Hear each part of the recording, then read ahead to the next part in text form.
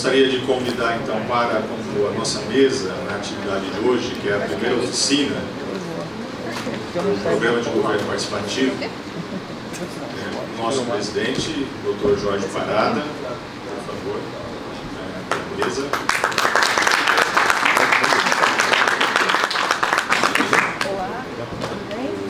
Nosso facilitador de hoje,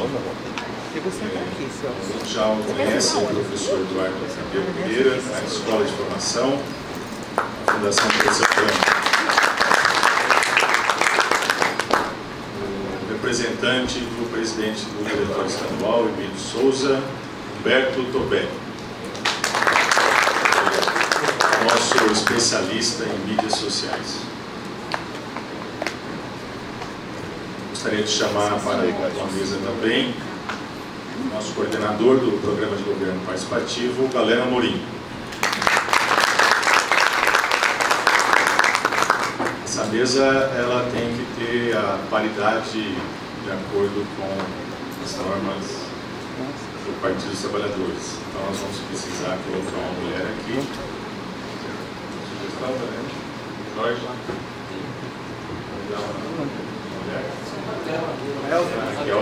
Raquel Monteiro por unanimidade, representando do Partido dos Trabalhadores.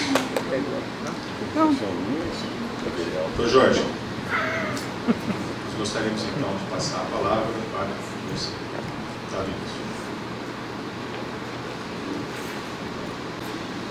Bem, bom dia a todos.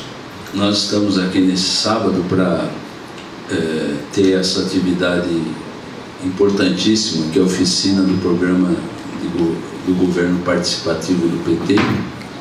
Nesse momento importante também, que é um ano em que vão ocorrer as eleições municipais em todo o país, e em particular em Ribeirão Preto, nós estamos, eh, já constituímos um GTE para poder tocar esse trabalho político eleitoral das eleições que se avizinham, com um olhar próprio do PT, que é um olhar de programação, um, um olhar de fazer uma campanha diferenciada, não só para obter resultados eleitorais, mas poder conscientizar o partido, a militância e a população em temas que são fundamentais para que a cidade possa ter alternativas de desenvolvimento. Sabemos que hoje eh, Ribeirão está carente de uma série de políticas públicas, principalmente aquelas que em determinado, determinada época foram implementadas pelo PT no governo Palocci, poucos programas que sobreviveram, né? e infelizmente isso trouxe uma piora da qualidade de vida para a população de Ribeirão Preto e o partido quer resgatar esses programas, quer resgatar esse protagonismo e essa história através é, do debate, através das eleições que, que ocorrerão este ano. Tanto é que o partido se prepara também, já elaborando uma chapa de vereadores competitiva para ocupar os espaços no legislativo e elabora também nomes, já tem nomes é, que estão é, preparados para a disputa interna para poder escolher o nosso candidato a prefeito também. Bom, então quero de imediato passar a palavra para o Humberto Tomé, representando aqui nosso é, Emílio de Souza, né, presidente do diretório estadual, para a gente começar essa oficina.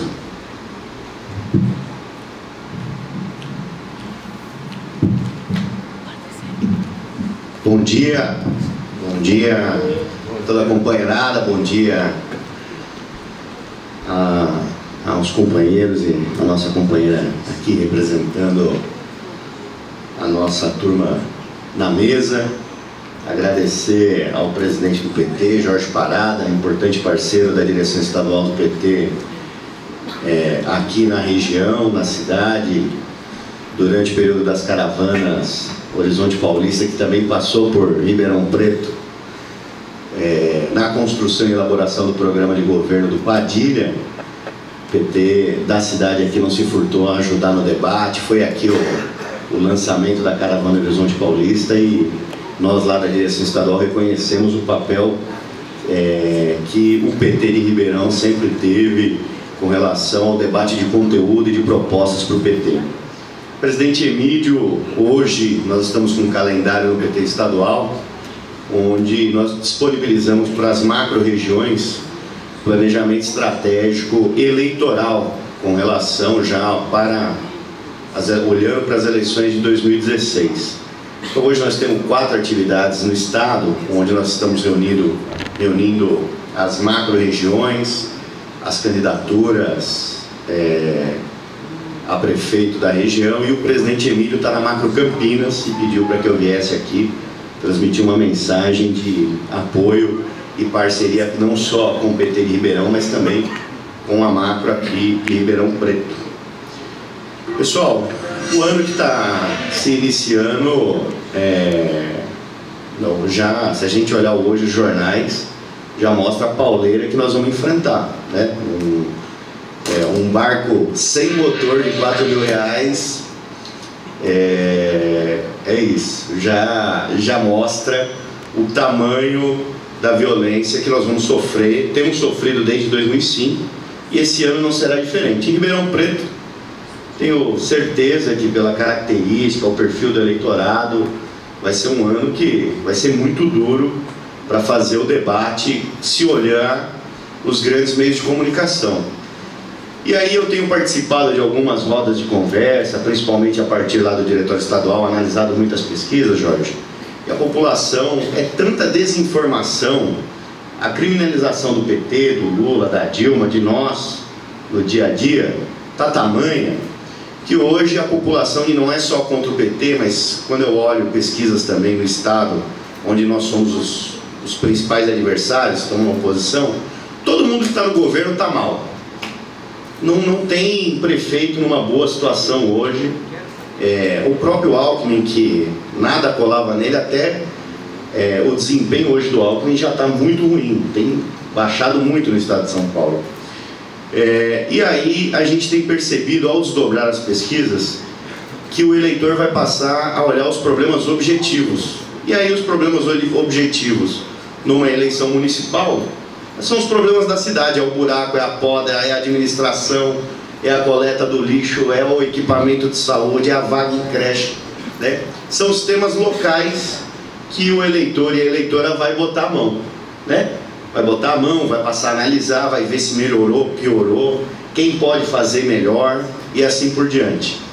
É, e é com esse objetivo que nós da direção estadual temos orientado para que os diretórios municipais é, e aí a nova legislação eleitoral em Ribeirão Preto, hoje é a primeira oficina de programa de governo é, no Estado, está sendo aqui inaugurado também é, esse modelo de organização partidária, é, que o período pré-eleitoral ele permite o debate de ideias, ele permite a construção, o posicionamento dos nossos pré-candidatos.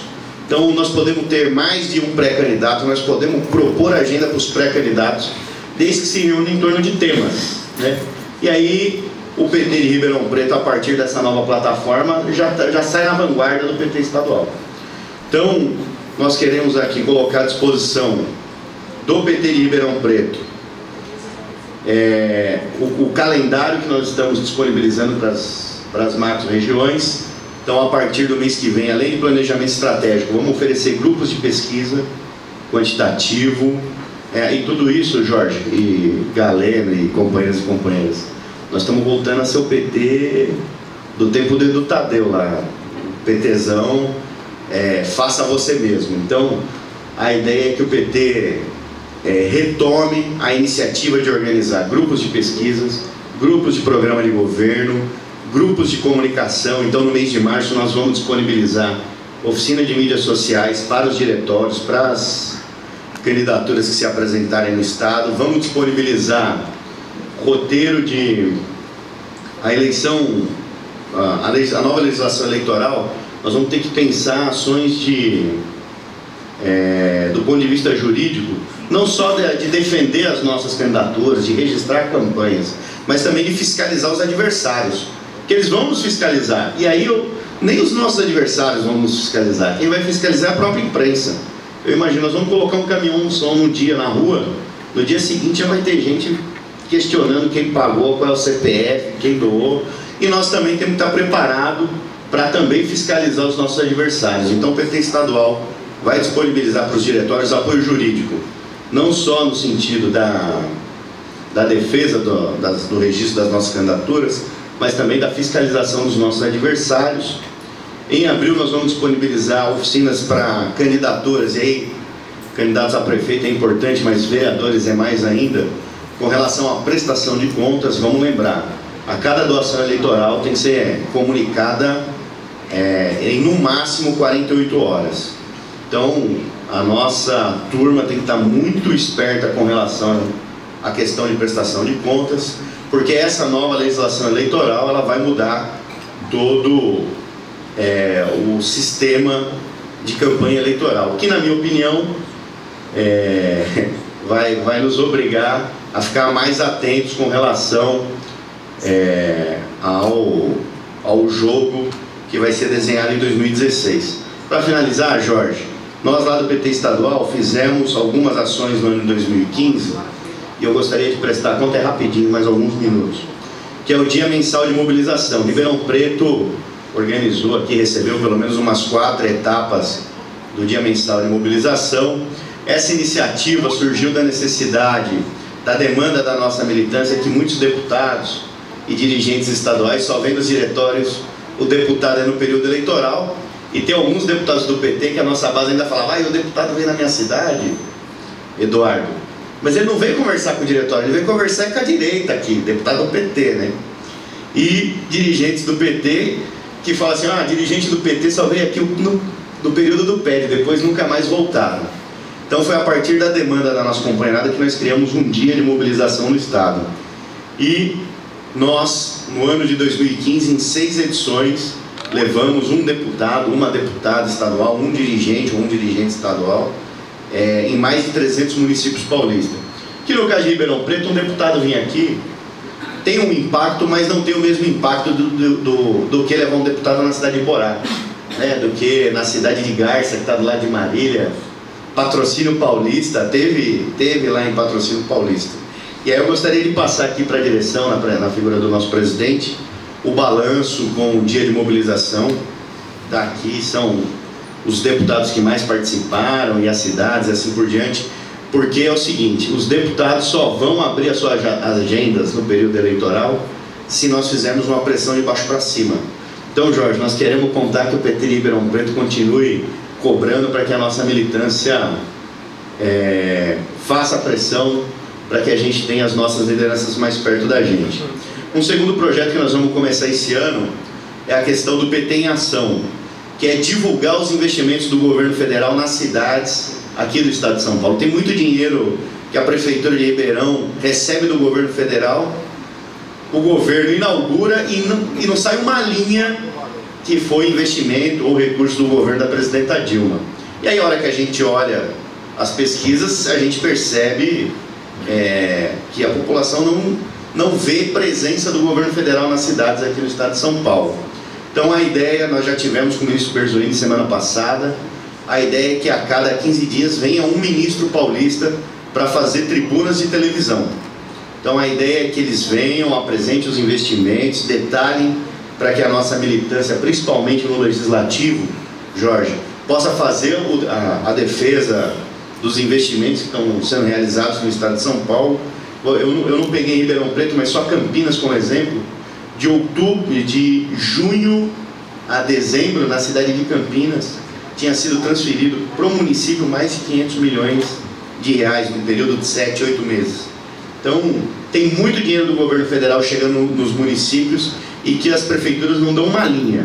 Então, nós vamos passar a ter, a partir agora de 2016, o projeto Bem-vindo Ministro, Bem-vindo Ministra. Do mais, agradecer ao Eduardo Tadeu, tem sido um importante parceiro da direção estadual do PT por meio do projeto São Paulo, depois ele vai falar um pouco do que significa, mas a partir do projeto São Paulo nós criamos o Fórum de Conjuntura Eleitoral. Eu vou passar aqui alguns, eu não trouxe muitos, mas o resultado dos debates que também tem muito a ver com, essa, com esse tema da construção e elaboração do programa de governo. Então vou passar para toda a companheirada e essa parceria com a Fundação Pessoa Abramo, com a Escola Nacional de Formação Política, tem sido muito proveitosa para a direção estadual do PT e compartilhada com as macro-regiões e os municípios paulistas. Do mais, estou à disposição do PT estadual. O presidente Emílio tem aberto a sua agenda para a construção de palanques fortes no estado de São Paulo. Ribeirão Preto não está fora do jogo da tática eleitoral nacional, por ser um município acima de 150 mil eleitores. Então, o Diretório Nacional vai olhar aqui para a cidade também de Ribeirão com relação à composição da organização com aliados, com relação à forma de estruturação das nossas candidaturas. E o Diretório Estadual também, a ideia é que a gente esteja mais próximo para poder retomar aqui o governo municipal, voltar a ter o PT organizado e pujante aqui na macro-região. Obrigado pelo convite, presidente, Galeno, Zé Alfredo, a todos os companheiros e as companheiras, e viva o PT! Agradeço a Humberto Tobé, que representa o nosso é, Emílio de Souza, nosso dirigente estadual. Dizer que o Emílio, inclusive, já esteve em Ribeirão Preto, né? Está direto aqui. E anunciando na época essa, esses encontros né, estaduais que os deputados fizeram aqui em Ribeirão Preto. Foram quatro encontros muito produtivos. Né? Parabenizar a direção estadual por essa iniciativa que eu, eu desconheço. Né? Antigamente tinham caravanas, né? mas esse sistema de aproximação com as lideranças e de aprofundamento de debates que são necessários é, ao partido realmente começou é, nessa gestão. Então quero parabenizar. Esse encarte do balanço mensal de mobilização estará à disposição no partido. Né?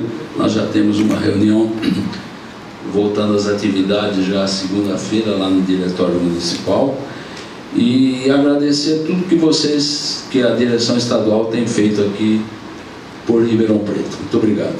Quero já passar uh, a palavra para o Galeno, para ele falar a questão do, do, do, da programação e planejamento eleitoral, planeja, planejamento estratégico aqui em Ribeirão Preto. Bom dia a todas as companheiras, os companheiros. Uh, esse é um momento importante para o nosso partido, para a esquerda e para essa corrente progressista que amplia para outros não petistas também, com quem nós temos dialogado aí bastante durante esses últimos meses é, nesse caminho para buscar construir um bom projeto de cidade. E eu agradeço a oportunidade desse encontro está ocorrendo no dia de hoje aqui, é, agradecendo cada um de vocês, companheiros e companheiras aqui presentes que se dispuseram a vir, se dispuseram a dar um meio período do sábado de vocês para trabalhar na construção desse projeto. E o Carlos, que cedeu esse auditório para a gente, uh, para abrigar todos vocês aqui presentes, era uma reunião uh, de umas 20 pessoas e ela, por conta das adesões dos companheiros, ela foi se ampliando e foi importante a gente poder contar com espaço ampliado e aí com todo o apoio logístico para que isso ocorresse. Ah, desde o primeiro momento, o diretório ah, estadual, e na figura do Emílio, nosso presidente, na figura do Humberto Tobé, e, mas também não só, a Escola Nacional de Formação, ah, na figura do nosso querido Edu Tadeu, que teve recentemente em Ribeirão, e a Escola Nacional de Formação, e também a Fundação Perseu Abrão se dispuseram rapidamente nos ajudar nesse processo. Então quero agradecer é, e registrar que nada disso estaria sendo possível sem um trabalho incansável que os petistas de Ribeirão aprenderam a conhecer e acompanhar de perto e se entusiasmar também muito é, já de um bom tempo para cá. É, tem sido coordenado pela rede PT, pelo Zé Alfredo, é, que todos nós conhecemos de mandatos brilhantes na Câmara Municipal, agora a, a, dando ainda um outro tipo de contribuição, ele que nunca deixou de ser uma figura importante no nosso partido, desde o começo e fundação do PT. Bom, mas antes de falar do programa de governo participativo em si e como que a gente vai uh, desenrolar essa manhã aqui, que vai ser comandada pelo Edu Tadeu, que também é presidente da Associação Brasileira de Municípios. Eu, nós trouxemos um vídeo aqui para vocês que fala um pouco do que é o Dialoga Ribeirão, do qual vocês vão ouvir falar muito a partir de agora. Deixa eu chamá-lo aqui.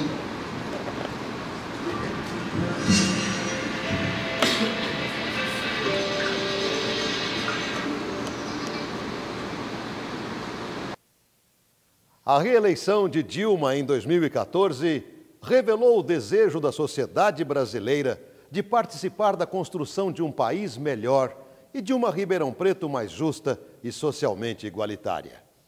Reconhecendo que a diversidade e a pluralidade do povo é uma de suas principais riquezas, o PT convida toda a sociedade para a construção de um programa de governo participativo, PGP o PGP visa identificar as forças e fragilidades da economia da nossa cidade, as iniciativas que deram certo e aquelas que precisam ser aperfeiçoadas, além das propostas inovadoras capazes de realizar todas as potencialidades de Ribeirão Preto para que a riqueza do nosso município se converta em serviços públicos eficientes e em melhor qualidade de vida. Vamos dar voz e vez para quem nem sempre é ouvido. O desafio estratégico do PGP é identificar os sonhos da população de cada bairro e transformá-lo num programa de governo exequível, sob os pontos de vista institucional e orçamentário. Para a elaboração do PGP, o Diretório Municipal do PT abre formalmente o debate sobre as eleições de 2016, convicto de que, apesar das campanhas contra o partido e das adversidades da situação econômica, poderemos manter a trajetória de crescimento do último pleito. Deve ser lembrada a trajetória histórica, iniciada na campanha eleitoral de 1982, com o partido ainda em formação, no desafio da busca de filiados para regularizar sua situação e participar da primeira disputa eleitoral. Com garra, o PT cresceu sempre tendo quadros de candidatos próprios, e elegeu o primeiro vereador em 1988, o primeiro deputado estadual em 1990 e o primeiro prefeito em 1992, voltando a ganhar a prefeitura de Ribeirão Preto em 2000. Mas as eleições não são um fim em si mesmo. Através das vitórias obtidas nos espaços institucionais, Queremos acumular forças para aprofundar a democracia e melhorar a vida do povo, a fim de fazer avançar nosso projeto de país.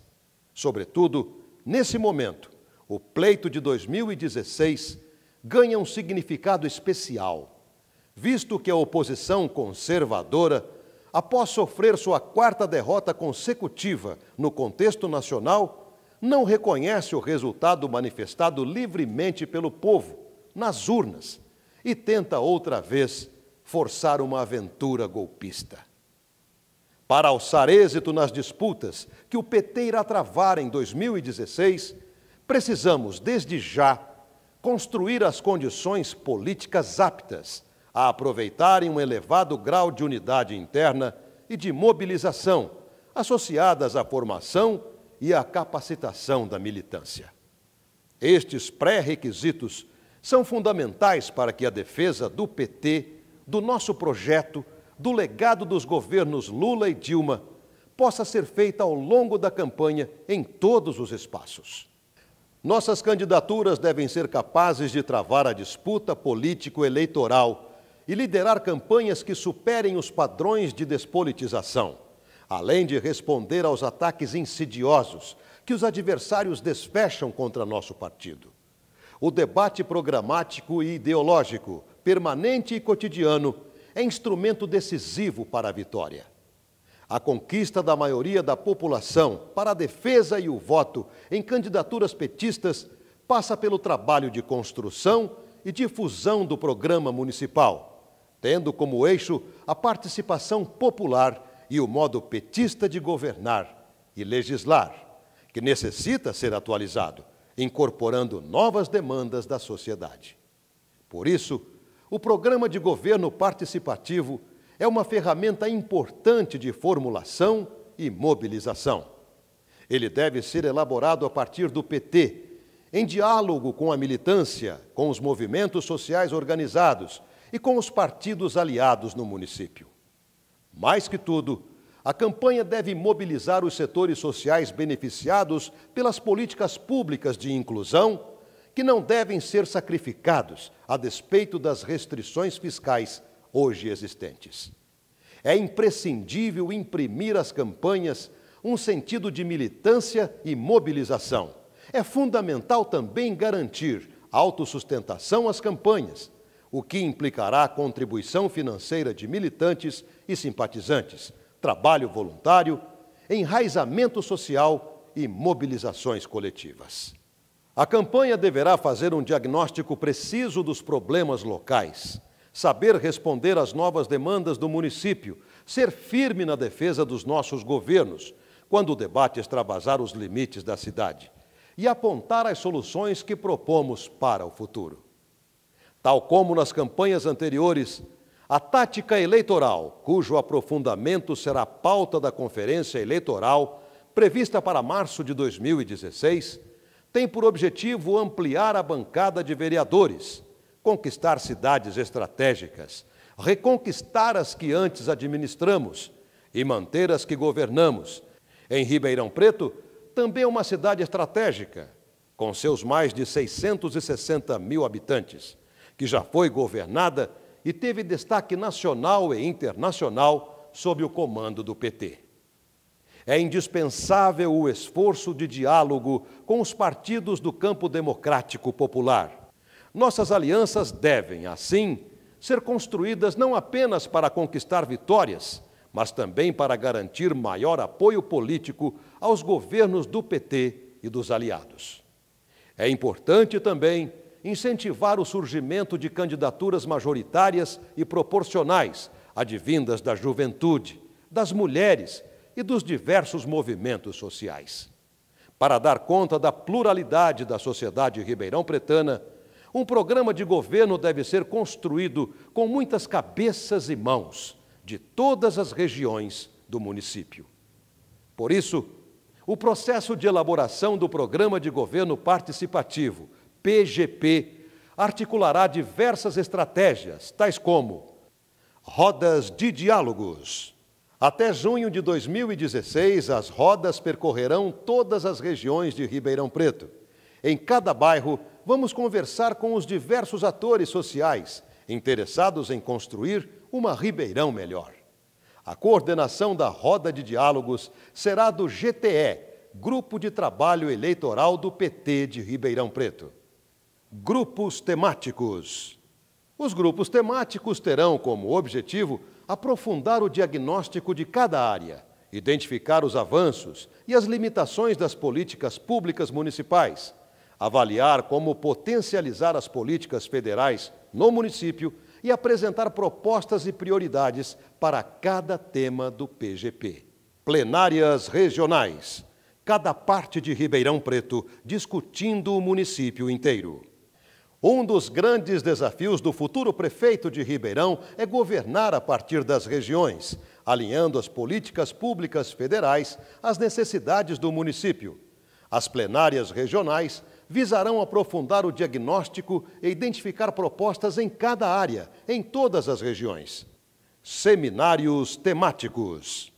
Depois de ouvir a população nas rodas de diálogos, de aprofundar o diagnóstico com especialistas nos grupos temáticos e de conhecer as especificidades de cada área, em cada região, com as plenárias regionais, o PGP submeterá a síntese do diagnóstico, das diretrizes e das propostas ao debate com a sociedade em grandes seminários temáticos. Plataformas colaborativas de participação, mídias sociais. A revolução das tecnologias de informação e comunicação alargaram exponencialmente as possibilidades de participação social na formulação dos programas de governos e depois das eleições de 2014, a participação no próprio governo. A implantação da rede PT Ribeirão comprova isso. O PGP contará com a plataforma Dialoga Ribeirão, que permitirá a participação também na modalidade virtual. O internauta poderá compartilhar seus sonhos e propostas, postar documentos, fotos e vídeos, ajudando a construir uma cidade mais justa e solidária. Em sintonia com a revolução silenciosa promovida por Lula e Dilma, queremos dialogar com universidades, setores produtivos, classe trabalhadora, movimentos sociais, especialistas e todos os interessados em debater e construir juntos as propostas para que o município de Ribeirão Preto se transforme numa terra de oportunidades para todos e todas. Vários de nós aqui presentes podemos estar pensando, pô, esse pessoal do PT está tentando é, se passar um pouco mais por moderninho e está querendo substituir a conversa olho a olho, a tete a tete, a, ou o xixo no ouvido, como sempre lembra o nosso doutor Franco aqui também presente. É, mas não, na verdade, nós aproveitamos esse momento aqui uh, para compartilhar com todos vocês uma ferramenta, um instrumento novo que a partir de agora a gente pretende utilizar em muito. Uh, sem abandonar, evidentemente, que as nossas práticas tradicionais do tete a tete, de conversar, de discutir, de ouvir e de construir na base de muita discussão, de muito debate e de muito diálogo. Uh, no entanto, uma inovação que hoje, segundo todos os especialistas, devem ter uh, uma presença muito forte na campanha de 2016, talvez a, a contribuição mais forte desde que foi inventado internet e mídias sociais será agora este ano. Com as mudanças uh, nas legislações eleitorais, certamente também a pré-campanha vai poder ter uma importância tão grande quanto a campanha eleitoral, que vai ser curtíssima, muito concentrada num período bastante curto. Ah, com isso ganha força a pré-campanha. O que o PT vai fazer? Além de todas essas reuniões, debates, conversas, rodas de diálogo na periferia, também aproveitar o, a comunicação pelos espaços virtuais, pelos espaços digitais. Então, hoje aqui, por exemplo, nós temos até mais companheiros que imaginávamos para essa primeira oficina. Mas mesmo assim, se a gente olhar do lado para frente e para trás, a gente vai identificar certamente ausências de muitos e muitos companheiros ah, que por várias razões não puderam estar aqui hoje. Tem vários pesquisadores de universidades locais, por exemplo, que estão em férias e voltam na segunda-feira para Ribeirão. Tem vários companheiros nossos, Misael é um deles, ah, que não estão podendo por problemas de saúde. O Misael, por exemplo, está com dengue e assim por diante, certamente vocês terão várias, uh, vários exemplos para justificar ao longo da nossa conversa aqui. No entanto, tudo isso que a gente vai fazer com que aconteça aqui, nós faremos também que isso chegue até esses companheiros que por alguma razão não puderam estar presentes aqui hoje. Esse vídeo, por exemplo, nós vamos mandar para cada um é, de companheiros é, que nós vamos, precisamos e temos que mobilizar para esse trabalho. Esses e outros que virão por aqui. Então, ah, para abrir essa oficina, nós é, resolvemos ousar e substituir aquela fala presencial que talvez demorasse um tanto de tempo a mais para explicar tudo isso e trazer o nosso amigo e companheiro Celso, que está aqui presente, que gravou esse vídeo para a gente, apresentando o que, que é a tal da plataforma Dialoga Ribeirão e esse processo colaborativo de fazer ah, o nosso programa de governo. Ah, eu quero, ah, antes de passar palavra para o Edu Tadeu, ah, fazer uma rápida fala aqui, eh, dizendo como é que estão as coisas e como é que está constituído esse programa de governo participativo e o nosso calendário imaginado de agora até o final do ano. Em primeiro lugar, eu quero, uh, e falo isso com muita naturalidade, porque eu mesmo participei de várias vezes desses processos de elaboração uh, de programas de governo, no mínimo de redação, Ah, mas eu quero dizer o seguinte, eu tenho pessoalmente uma impressão, que é a impressão de muitos companheiros, é que para valer, para valer o nosso partido e a cidade de Ribeirão Preto teve uma única vez um grande projeto de cidade, que foi na eleição de 1992, quando o PT se elegeu pela primeira vez. Uh, um processo talvez iniciado na Constituinte Municipal, mas que se estendeu e ganhou força no mandato do nosso vereador e depois deputado Palocci. Uh, foi num crescente até que nós chegamos na eleição de 92, com partidos aliados, e chegamos para a sociedade conservadora, não diferente do que é hoje. Hoje talvez ela esteja mais ranheta, uh, mas chegamos e dissemos de uma maneira clara o projeto de cidade que pretendíamos. Uh, e traduzimos da seguinte maneira: olha, nós que somos pessoas de esquerda, que somos pessoas progressistas, e aí abraçando desde é, é, da esquerda uh, mais na ponta até os, os democratas de centro, nós discutimos o projeto, apresentamos para a cidade e dissemos: olha, essa turma é, que se apresenta como de esquerda, como progressista, tem sim um projeto para essa cidade. Se ela se eleger essa coligação, nós vamos fazer determinadas ações aqui. E foi o que realmente aconteceu. Não por outro motivo, depois do primeiro mandato, que virou uma vitrine e um laboratório de grandes projetos, de grandes pilotos, que depois foram para várias cidades e estados do país, na, quando a gente foi disputar a reeleição, é, a reeleição não, perdão, que ainda não existia, porque na época nós não conseguimos fazer o sucessor, mas quando o prefeito Palocci voltou para apresentar uma nova candidatura, foi eleito facilmente no primeiro turno. Até por isso, talvez, esse tão facilmente, que nós, na oportunidade, não nos demos ao trabalho de construir de novo um projeto de cidade mostrando o que seria daí para frente. Ah, nós temos hoje essa oportunidade. Ah, não vou fazer nenhuma análise de conjuntura, ah, porque cada um que está aqui é especialista no assunto e dispensaria isso, mas é preciso dizer que é uma eleição dificílima que vem por aí. O PT não tem entre prováveis candidatos nenhum uh, grande puxador de voto que chega com um nome estabelecidíssimo para a disputa, pode ter conceitualmente outras qualidades, mas não tem nenhum candidato extremamente popular que já sai aí com 10, 20, 30% de preferência, muito pelo contrário. Uh, ainda nas próximas uh, pesquisas, aquele que vier a ser o candidato certamente ainda vai dar traço. Qual que é o grande diferencial que nós temos para apresentar para a cidade? É ter um bom projeto de cidade como nós tivemos uh, lá atrás em 1982. Uh, e evidentemente que construindo isso de uma maneira colaborativa com a sociedade e aproveitar cada uma das brechas é, para defender essa ideia, não fazer projetos eleitoralmente só por serem eleitoralmente eventualmente mais interessantes, mas colocar para a sociedade, porque discutiu e tirou dela isso, o projeto certo, a coisa certa a fazer. Uh, defender propostas que muitas vezes podem ser polêmicas e pode mais tirar voto do que trazer, mas é a coisa certa que partidos de esquerdas, que partidos de trabalhadores, que partidos com origem, a história do PT precisam apresentar. E ganhar e conquistar mentes e corações para esses projetos.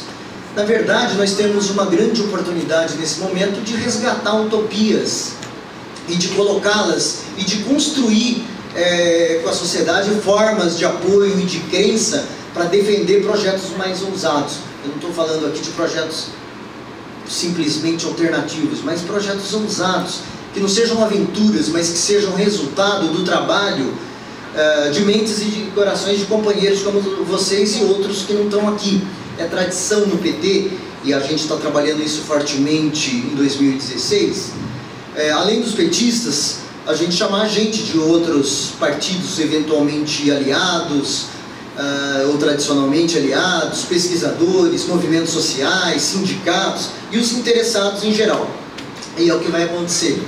Nos grupos nós temos simpatizantes é, de outros caminhos das esquerdas. E é importante, eles estão querendo trazer e nos ajudar nesse processo.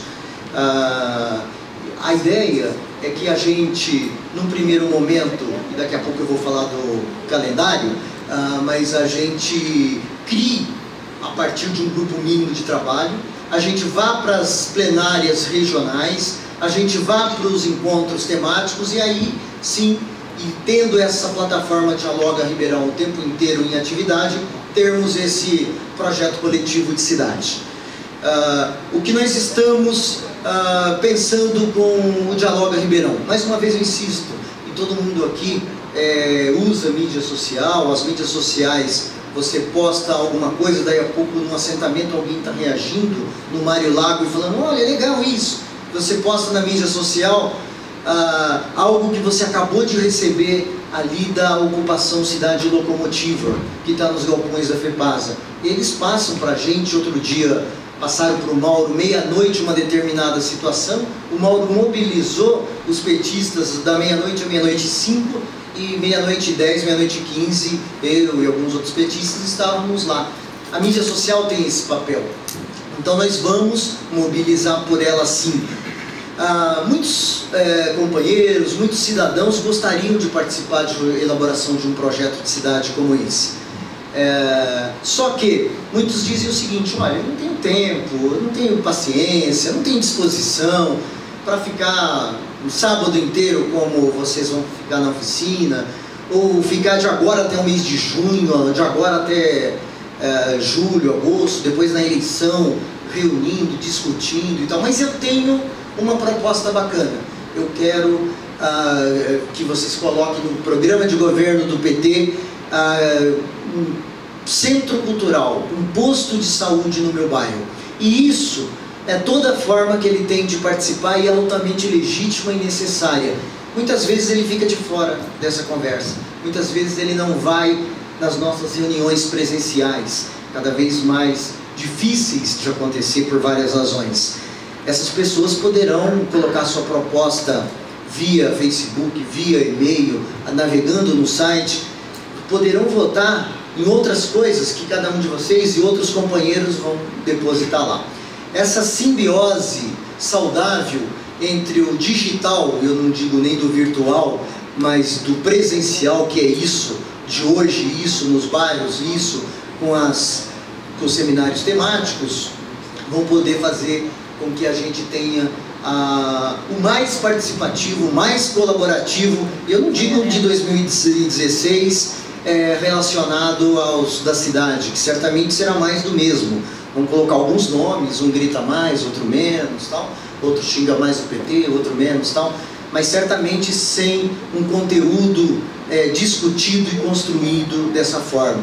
Mas eu diria mais, é, mais da história é, das esquerdas em Ribeirão as esquerdas ganharam três vezes em Ribeirão. Certamente essa vai ser uma, a, um momento, duas com Palocci e, e, uma outra lá atrás com o Dr. Magalhães, né, como lembraria aqui nosso historiador, o José Augusto, que é, escreveu um, esses dias um texto bacana sobre isso, primeira vitória da esquerda em Ribeirão. É, mas terá sido a mais colaborativa de todos. Isso é fundamental para a gente se contrapor a outras candidaturas, ah, e outros modos de se fazer política diferente dos nossos. Bem, eu vou trazer aqui para vocês ah, os GTs, como eles estão constituídos.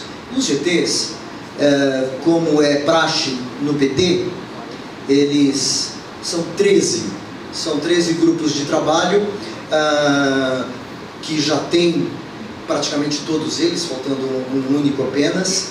Uh, uma primeira constituição, gente que está ajudando nesse trabalho de mediação, e vocês vão ver a partir de agora que tem um, um quadro inteiro em branco para que a gente possa colocar os nomes de outras pessoas em cada um deles. Nós temos o GT de Educação, quem está fazendo esse trabalho de coordenar ah, é o Carlos, que foi diretor da Secretaria de Educação, e nós teremos vários companheiros aqui, tem aqui, por exemplo, a Elsa, tem o pessoal da POSP, ah, tem várias pessoas aqui que eu vou evitar de citar os nomes todos para ah, evitar qualquer deslize, mas pessoas que participarão e trazendo gente dos vários setores, dos professores, dos diretores, mas também dos alunos, que acabaram de ter um movimento bastante vitorioso ocupando ah, ah, escolas de Ribeirão, ah, e os pais, as mães, eh, pessoas que possam representar os vários setores.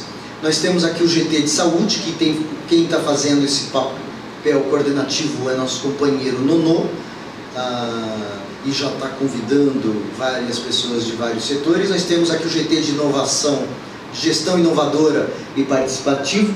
Aqui, além da administração, é a demo... Sim, a gente vai ah, apresentar, podia aproveitar e apresentar agora, já de uma vez, né? É. O Carlos. Ah, o Carlos está lá no fundo.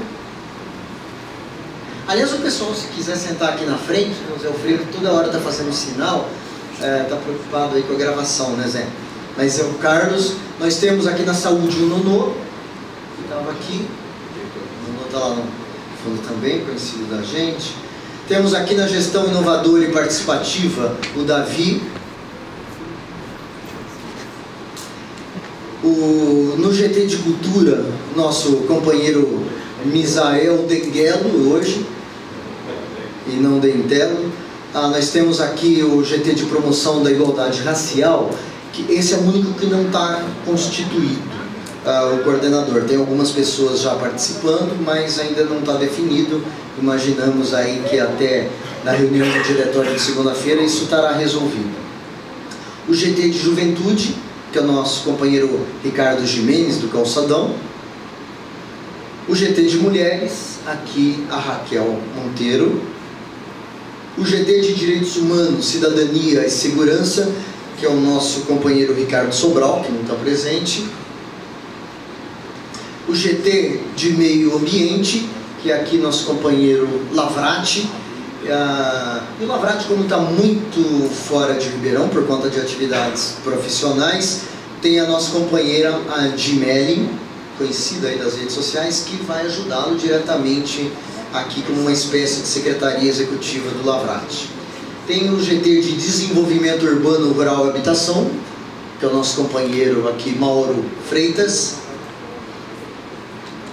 Mauro, dá uma levantadinha para quem não te conhece, é figurinha carimbada, todo mundo conhece, mas para ter certeza que ele está aqui. O GT de Mobilidade, Logística e Infraestrutura, que é o Augusto Valério, nosso companheiro, que também não está presente hoje aqui por questões familiares. E o GT de Ciência, Tecnologia e Inovação, esse tem uma coordenação dupla aqui, a Tânia Fernandes uh, e o Luiz Ricardo Figueiredo. O, o Luiz Ricardo, Lupa, ele trabalhou na primeira gestão, na segunda gestão nossa aqui, é do, veio do PT lá de São Bernardo e hoje está fora da cidade, por isso que não está participando. E o GT de Esporte e Lazer, que é o nosso companheiro Lucas Lousa, que está ali. Esses são os nomes aqui. Eu vou rapidamente, para encerrar a minha participação, já passar para o Edu, falar duas coisas, é, dois slides muito rapidinhos, que são o seguinte. Um é o calendário imaginado em, em prática até aqui do PGP. Claro que todos nós aqui reunidos poderemos discutir, achar que não é isso mesmo, que pode ter algumas mudanças e tal. Mas ele está previamente definido assim, em função de um calendário maior, que é esse daqui, que é o calendário eleitoral, que prega o seguinte, que no dia 5 de julho é o período para começar a propaganda interna para a convenção partidária, que do dia 20 de julho ao dia 5 de agosto tem que ter a convenção partidária, ah, que o dia 15 de agosto é o prazo para registro de candidatura e coligação, que no 16 pode começar a propaganda eleitoral, mas que só no 26 até o 29 de setembro, ou seja, um período muito curtinho, 30 e poucos dias, é a propaganda no rádio e na TV. E no dia 2 de outubro, é a eleição em primeiro turno, que se a gente fizer tudo direitinho, como manda o figurino, a gente pode sair nesse dia para festejar no final das urnas e depois uh, logo em seguida começa a propaganda eleitoral no rádio e TV que termina no dia 28 e finalmente no dia 30 tem a eleição em segundo turno. Como esse calendário é fixo e diz por toda parte que ele não terá mudança e não vai ter mesmo, a gente também tem um calendário do PGP que ele precisa ter um certo rigor. Ele não, precisa, ele não pode contemplar a nossa necessidade de ter o dobro de tempo para fazer determinadas atividades. Tá? E aí ele fala e, do nosso compromisso primeiro, que é criar o próprio PGP pelo diretório até o dia 30 de novembro.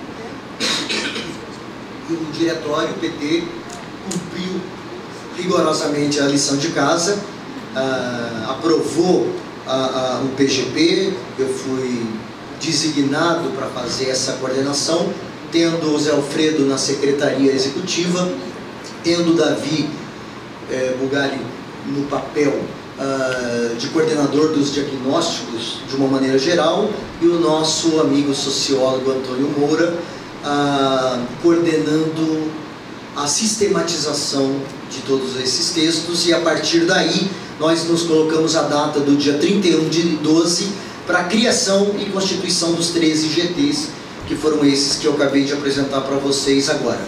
Uh, uma meta, no dia 31 de janeiro, que amanhã, a gente ter feito uh, as conversas, reuniões para diretrizes gerais, funcionamento e esta oficina do PGP que está acontecendo um dia antes, tá? Durante todo esse período, dezembro e uh, mês de janeiro, nós reunimos com esses vários coordenadores, com alguns mais de uma vez, justamente para poder discutir o funcionamento, as possibilidades, as metodologias e uma porção de coisas, tá? Então até aqui está é, tá sendo rigorosamente cumprido. Aqui que o bicho começa a pegar. Ah, nós temos aqui uma meta ousada ah, de elaborar os diagnósticos e os enunciados desses grupos. E daqui a pouco o Edu vai falar, vocês brigam com ele se precisar mudar essa data aí que. É, é, mas eu acho que é um bom compromisso.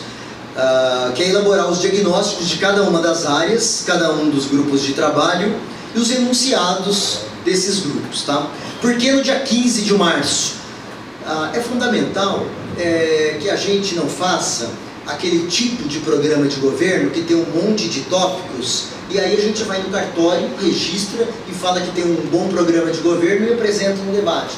Olha, eu tenho um programa aqui, você candidato não tem e tal. Não é disso que a gente está tratando. Na verdade, é colocar esses vários temas, essas várias questões uma para encarar a outra de frente e ver como elas podem crescer juntas e virar algo melhor. Por exemplo, quando a gente discute ah, educação, ah, de repente o grupo das mulheres olha e fala, opa, peraí, esse grupo tem que ouvir a gente. Ah, construção de creches, isso tem a ver com geração de trabalho e renda das mulheres, que se não tem, eu não trabalho.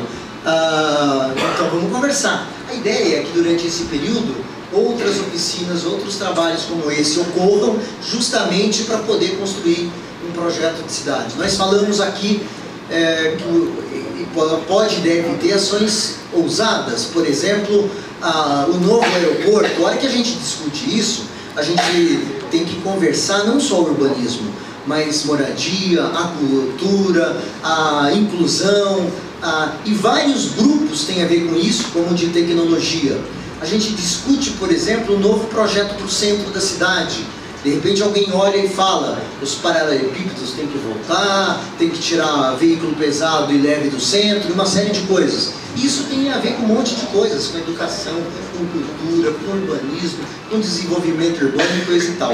É um período que a gente vai ter para compatibilizar o trabalho uh, de cada um dos grupos. Uh, e aí, é, nós temos aqui no dia 15 de abril, a primeira versão desse programa de governo participativo, tá? E o que, que a gente vai fazer com ele? A gente vai fazer durante 30 dias plenárias temáticas, então ah, o GT da Educação certamente vai querer convidar ah, os professores, os diretores, os alunos, pais, especialistas, pesquisadores, funcionários, trabalhadores tal, para discutir, ouvir mais, é, submeter a criticidade e trabalhar no aprimoramento. E nós vamos, durante esse período, para cinco regiões da cidade apresentar e sempre com viés voltado para cada uma das regiões. O projeto mais geral, mas voltado para cada uma das regiões. Por fim, a proposta é que no dia, isso feito durante mais um mês, até 15 de junho, no dia 19, que é o aniversário uh, de Ribeirão, nós façamos o lançamento do projeto de cidade. O PT, eh, partidos que eventualmente estejam aliados, os movimentos sociais uh, e os nossos parceiros de sempre. Durante todo esse tempo, na plataforma digital, nós vamos estar ouvindo, nós vamos estar provocando, nós vamos estar mobilizando. Bom, era isso que eu gostaria uh, uh, de falar nessa parte introdutória da oficina e vou devolver a palavra para o nosso presidente Jorge Parada. Muito obrigado. Bom, bom dia, companheiras, bom dia, companheiros. Eu queria primeiro agradecer aqui o convite do PT de Ribeirão. É muito legal poder estar presente, discutir com vocês o PGP aqui de Ribeirão. Quero saudar aqui a Silvia, Quero saudar a companheira Raquel, saudar o Jorge Parado, saudar o Galeno e saudar o Tobé aqui em nome do EMIF, da direção estadual do PT, do Grupo de Trabalho Eleitoral. É... Bom, eu tive aqui dando um curso como formador da Escola Nacional de Formação Política do PT, da Fundação Perseu Abramo, e aí me convidaram e tem articulado com o Galeno outras paradas aí no, pelo Brasil afora. É, eu fui prefeito em Várzea Paulista, uma cidade com 110 mil habitantes, é, entre São Paulo e Campinas. É? Você é de Várzea? Mas antes do meu governo. É, fui prefeito lá de 2005 a 2012, dois mandatos. É, sou presidente ainda desde 2012 da Associação Brasileira de Municípios. Sou formador da Escola Nacional de Formação. Fui secretário de formação política do PT estadual é, de 91 a 95, por isso que o Tomé falou aqui, no, como é que fala, os, os dinossauros do PT. Então, um, pouco, um pouco mais de dois anos atrás, 91 a 95, eu fui secretário de formação política do PT. É, e sou atualmente coordenador do, do, do Projeto São Paulo, que é um projeto da Fundação Perseu Abramo, que tem um projeto de, de projeto estados de tentar acompanhar as, um, um diagnóstico de cada um dos 26 estados e mais do Distrito Federal. E aqui em São Paulo tem tentado é, com o que a gente chama de rede de colaboradores que são as pessoas que participaram da elaboração do programa de governo do Padilha em 2010 que foi um programa com muita participação que a gente conseguiu reunir no programa de governo do Padilha, no nosso programa de governo 2010, uma massa crítica muito interessante, com condições de ter um diagnóstico do, do que são as políticas tucanas do Estado de São Paulo, de apresentar propostas alternativas, e a gente tem mantido essa rede que deve agora funcionar neste ano de 2016. Fizemos uma reunião já esse ano, vamos fazer uma outra reunião agora em fevereiro, no sentido de acompanhar as políticas estaduais e subsidiar é, os programas de governo. E esse, esse PGP, esse é, projeto São Paulo, a gente dialogando com os movimentos sociais, criou o Fórum dos Movimentos Sociais do Estado de São Paulo, com a CUT, o EE, MST, com o Central de Movimentos Populares, que se transformou semana passada, Roberto, no, na Frente Brasil Popular Estado de São Paulo. Mas que foi uma iniciativa nossa, junto com a CUT, é um negócio muito importante é, que é um produto, eu acho, da, da, da, da nossa atuação. Eu só queria, é, a gente vai apresentar aqui a, a evolução do, do, do, da ideia do modo petista de governar. Para uma eleição que nós vamos enfrentar, eu só queria acrescentar também, como disse o, o, o, o Galeno, sem expectativa de fazer uma análise de conjuntura, mas é uma, vai ser uma eleição que nós vamos disputar numa situação muito diferente do que nós já vivemos. Nós já disputamos eleições, e vocês aqui em Ribeirão, em 82, em 88, em condições muito adversas. Quem participou desse período, né, Zé Alfredo, entre alguns aqui, são mais ou menos da minha idade, né, é, sabem que assim, em 82 era uma campanha sem dinheiro, sem condições, em que a gente era sacaneado por todo mundo. Em 88 a mesma coisa, né, em 88 uma situação muito difícil, uma situação em que a gente era os subversivos, os comunistas, etc. E uma campanha sem grana. Até a campanha de 92, que ainda foi sem grana, a daqui de Ribeirão um pouquinho mais, porque vocês ganharam já a eleição de 92. Né? Mas essa situação foi mudando. E de 94 para cá, quando o Lula ia ganhar a eleição de 94, e aí a nossa a própria a campanha do PT né, mudou de padrão de 94 para cá, e essa eleição a gente vai ter que rever o padrão das nossas campanhas, com a sorte que todos os nossos adversários vão ter que rever também. Então vai ser uma campanha diferente. E numa campanha, numa situação política de crise, e aí assim, com toda que tem de crise, os problemas políticos e a pancadaria da imprensa num um dia sim e no outro também, né? Um dia falando do que o Lula foi convocado, no outro dia falando que o Lula comprou, o presidente da República comprou, fez um, cometeu crime de comprar um barco de 4 mil reais, né? realmente é digno de estar na capa do jornal, porque realmente é um crime absurdo o presidente da República comprar um barco de 4 mil reais, todo mundo tem que convir que é razoável. Se o Fernando Henrique tem um apartamento em Paris, que, é, que ninguém sabe como comprou, um professor aposentado da USP, né?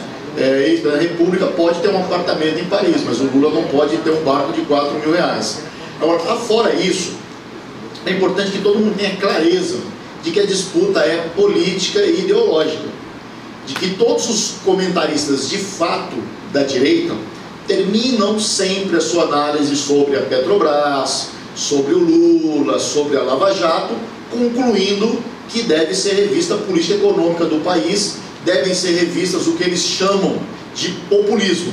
O que nós chamamos de uma política de inclusão social, eles têm chamado de populismo e não tenham dúvida de que todo este ataque tem um viés claro de política e de política econômica, que é rever a política social do nosso governo, rever a política de distribuição de renda, rever a política de inclusão social. Isso é o que está de fato em jogo.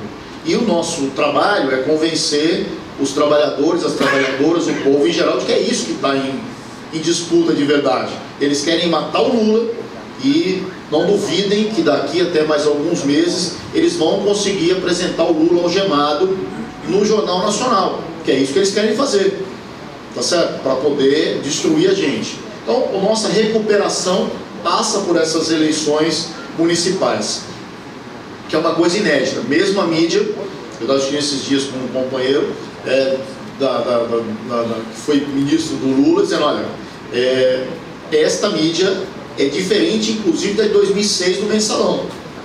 O grau de articulação, de sordidez, de evolução, de capacidade do que a mídia tem feito hoje é muito mais avançada e agressiva e disposta a nos destruir do que foi em 2006. Não tenho dúvida sobre isso. Quem abre a Folha, o Estadão hoje, está claro em quem que eles estão atirando. Por último, sim, acho que eu iria apresentar aqui o modo petista de governar. Podemos botar lá os slides, galera? É, o modo petista, como vocês acompanharam aqui em Ribeirão, como a gente acompanhou em nível nacional, e como é, foi dito aqui hoje, inclusive no vídeo, ele deve ser, obviamente, atualizado. Para isso, a gente está fazendo essa, esse debate aqui, para pensar como é que a gente avança e adapta isso a Ribeirão Preto. Eu só queria, estava é, na minha programação aqui, mas depois que mudar aqui eu mudei também, é, saber com quem que a gente está falando. Eu não sei se vocês todas e todos se conhecem entre si, eu suponho que a maioria sim, mas suponho talvez nem todos.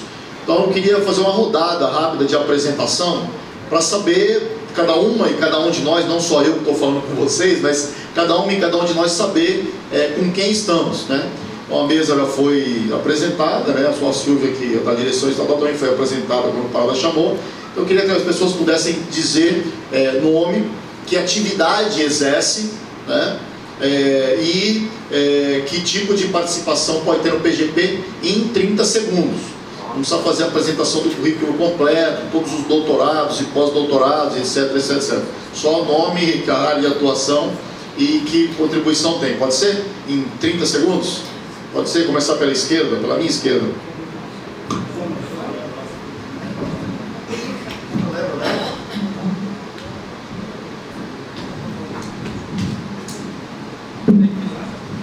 bom dia a todos. Eu, meu nome é Mônica, eu sou advogada e eu acho que eu poderia colaborar na, na no PGP das mulheres, outros direitos humanos. Eu estou envolvida nisso, eu, sou, eu fui coordenadora agora da Comissão da Mulher na UAB. Não sei se vou continuar nessa gestão atual do, do presidente Domingos Estocco, mas eu acho que eu posso dar minha colaboração nessa área. Bom dia, Gerson Barbosa, assessor do Dr. Jorge Parada, atuante na área de movimentos sociais, sou presidente da Associação de Moradores do bairro Antônio Manisec e estou aqui à disposição. Obrigado. Bom dia, eu sou Felipe Augusto Pérez, é, integrante do blog Calçadão e eu trabalho junto com o Ricardo Jimenez, PGP da Juventude.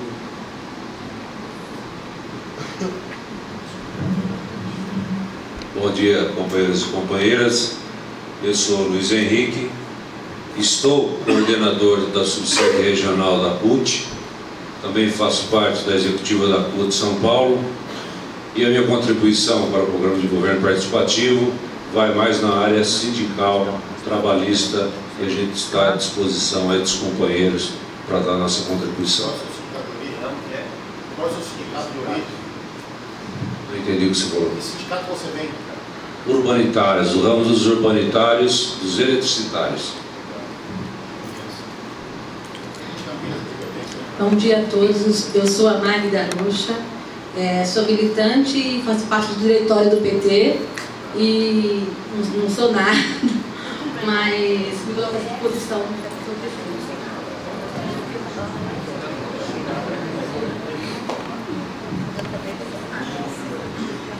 Bom dia a todos e todas. Meu nome é Neuza, faço parte da direção estadual do MST e sou assentada aqui na Fazenda da Barra. É, então, eu estava até conversando aqui pela rádio, eu acho que a parte que vai caber a nós aí, né, é a questão ambiental. Bom dia, meu nome é Lavrati, é Edvar Lavrati. É, eu trabalho atualmente no Instituto Biosistêmico, que presta assistência técnica aos assentados de reforma agrária no estado de São Paulo. E faço parte do, do GT de Meio Ambiente, que em Ribeirão Preto tem uma atividade é, na Fundação Educandário, que um projeto de educação ambiental do centro. É, meu, nome, meu nome é Rafael, eu sou estudante de Matemática aplicada a Negócios na USP e sou ligado aos movimentos de hip hop aqui na cidade. E estou ajudando o Lucas aqui na, na parte do GT de esporte e lazer. E se eu conseguir também, né, se tiver como, eu quero ajudar na parte de cultura também. É isso. Bom dia, meu nome é Thiago, mas a maioria me conhece como Chapolin. É, vamos dizer que eu sou multifuncional, certo? Então não dá para dizer tudo que eu... Mas eu represento aqui hoje, também na parte de ET de esporte lazer, e na parte cultural da cidade também estou sempre presente nos, nos coletivos e tal, fazendo parte disso. Sou integrante do hip hop também, porém também não só do hip hop. Mas estou aqui para somar da forma que for possível, que quem precisar de ajuda pode contar também, fazer uma troca sempre é muito bom. Já participou do show Nacionais. né? Já fazer um freestyle você faz aí? Já fazer um freestyle faz. Bom, primeiro lugar, bom dia. Para quem não me conhece, meu nome é Alexandre, mais conhecido por Snoop, né? Sou estudante de pedagogia, professor, coordenador de inúmeros projetos sociais de dança em Ribeirão Preto, na região de Ribeirão também, no estado de Minas, na Argentina. E minha contribuição é dentro do, do GT, né, do esporte lazer e também da cultura. Bom dia, o Galeno já me apresentou, eu sou Tânia Fernandes, eu vou estar coordenando o grupo de tecnologia, trabalhei 25 anos em multinacional na área de finanças, voltei para o interior agora e quero contribuir com esses grupos em tecnologia. Bom dia a todos, meu nome é Peterson, a gente representa a Associação de Bairro do Ribeirão Verde e estou à disposição para o que for possível. Bom dia a todos, a todas. Meu nome é França. Estamos na luta há mais de 35 anos aí no PT, com a garra toda. E sou, estou presidente da Associação de Moradores do Complexo Ribeirão Verde. Estamos aí na luta e ajudando os movimentos sociais. Bom dia, eu sou a Erika Gobati. É, no momento eu estou de vice-presidente da Associação de Moradores do Complexo Ribeirão Verde. Sou estudante de serviço social e eu sempre me simpatizei com o PT e eu vim aqui para aprender um pouco mais. Quem sabe me filiar.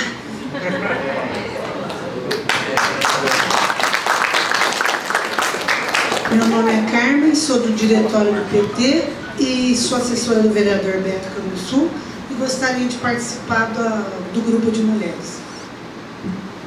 Bom dia, eu sou a Michelle, militante, e eu vou colaborar no GT das Mulheres. Meu nome é Maria Augusta, eu sou aposentante da Secretaria de Educação do Estado e estou retornando ao mundo do jornalismo. Bom, Antônio Moura, eu sou da primeira geração dos dinossauros. Então, era menininho ainda quando... Já não era bem menino, né? mas ele é da segunda geração. É, estou à disposição, sou sociólogo, jornalista, e estou à disposição do PGP. A voz da rede PT. Pronto, é Celso Luiz, locutor e apresentador da rede PT Ribeirão. É.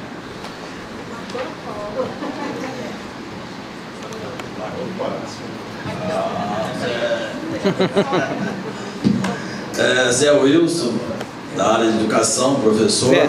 Zé. Fui dire diretor da POSP por algum tempo, mas agora estou passando aí para a meninada. Mas estamos aí no, no suporte e hoje estou também na, no diretório do PT Municipal. Bom dia, meu nome é Marcos, sou professor universitário. Estou aqui a convite do Lucas, meu amigo, amigo da família. E eu colaboraria eventualmente na área de educação. Bom dia, meu nome é Lucas, eu sou professor de rede estadual, milito na PESP junto com o Zé e estou ajudando a coordenar o GT de Esporte e Lazer. Bom dia, meu nome é Luciano, né? sou técnico em agroecologia, é, estudante de Direito e atuo nas ciências técnicas da, do PDS da Barra, ali na Fazenda da Barra. E sou assentado lá também. Bom dia, meu nome é Mauro Freitas, sou arquiteto urbanista. Tive a honra de participar do primeiro governo do Palós como secretário de Planejamento, presidente da Coab. Atuo atualmente em assistência técnica e habitação de interesse social, junto aos movimentos Moradia, com o companheiro Paulo Honório.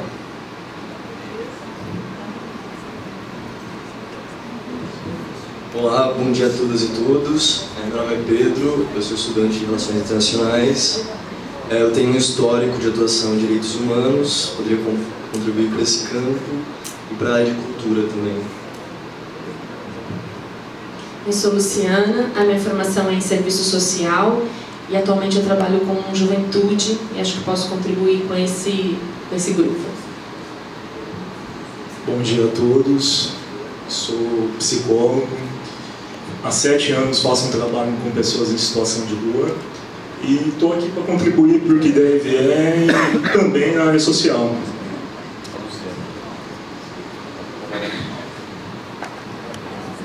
Olá, bom dia. Meu nome é Nelson Marinelli Filho. Eu tenho um bom histórico de projetos de inovação, tanto para organizações públicas e privadas, e vou colaborar com o grupo de inovação e tecnologia, principalmente perseguindo o, as saídas da economia colaborativa, que é uma saída essencial para Ribeirão Preto, continuidade no nosso desenvolvimento aqui.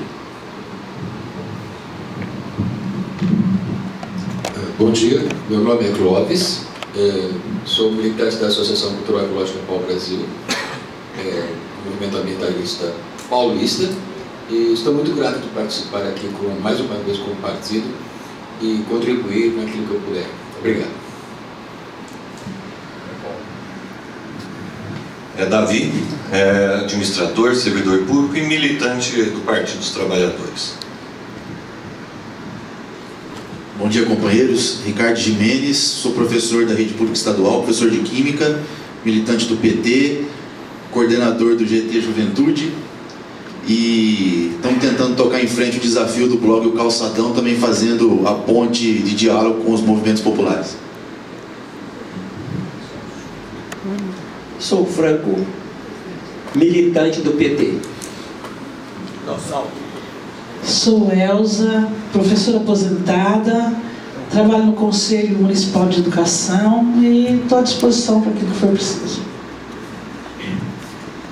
Bom dia a todas e todos. Eu sou Edson, atualmente estou no Diretório Municipal do PT e também sou militante aí é, da segunda geração de dinossauros, vamos dizer assim. Bom dia, eu sou Augusto Nogueiro Nolô, estou na área de saúde, sou cirurgião dentista. Silvia, funcionária pública e, como diz a companheira lá, nada. Mas acho que estou precisando de mais nada, né? precisando de mais nada aqui, né? Porque tem muita gente com muito título, nós estamos precisando de gente mais sem título também.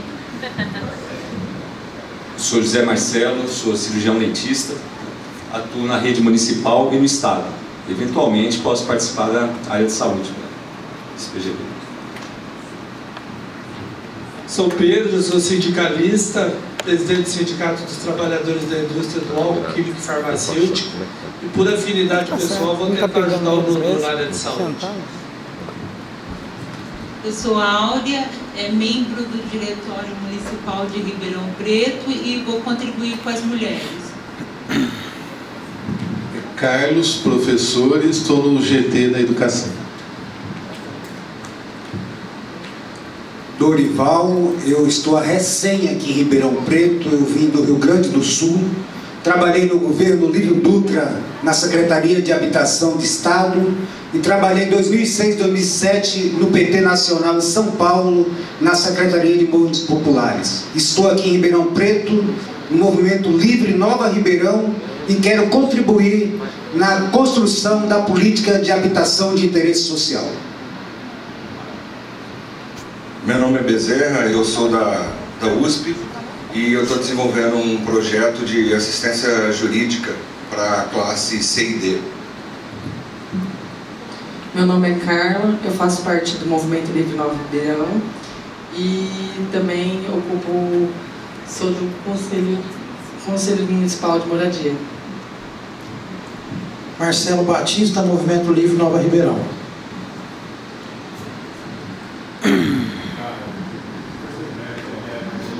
Meu nome é Brás, sou jornalista da Rede PT Ribeirão.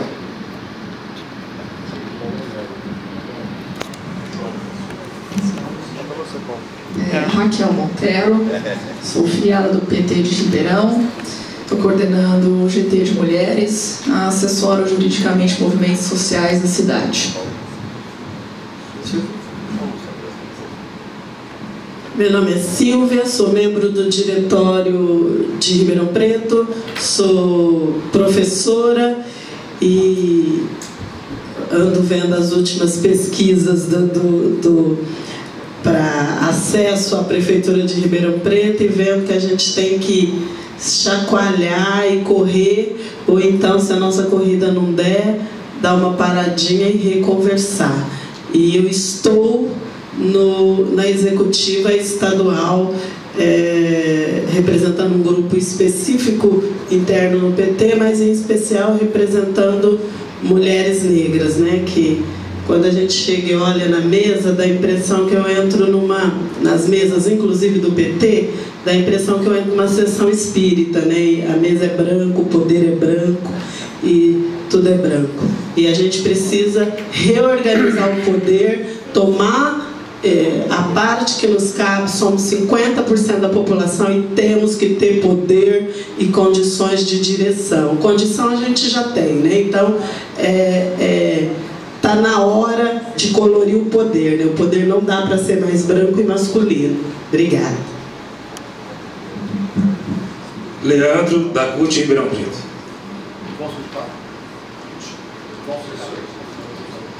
Bom, é o seguinte, eu queria apresentar para vocês, pode passar, posso? O próximo? Bom, pode passar esse também, já foi, já foi. É o seguinte, a gente criou esse termo, modo petista de governar, e mesmo para aqueles e para aquelas que estão aqui que não são petistas, nós estamos nos guiando por aquilo que a gente tem de acúmulo, que é, digamos, a base a partir da qual a gente deve construir o nosso programa de governo. É, nos anos 80, é, quando a gente fundou o PT, em 1980, portanto, é, há 36 anos atrás, a gente teve uma primeira geração dos dinossauros, como disse aqui o Moura, né? É, que foram, é, em 82, o PT elegeu dois prefeitos, um em Diadema, que era o Gilson Menezes, e um em Santa Quitéria, no Maranhão, né, que logo depois saiu do PT. O PT de 83 a 88 teve uma prefeitura que foi Diadema.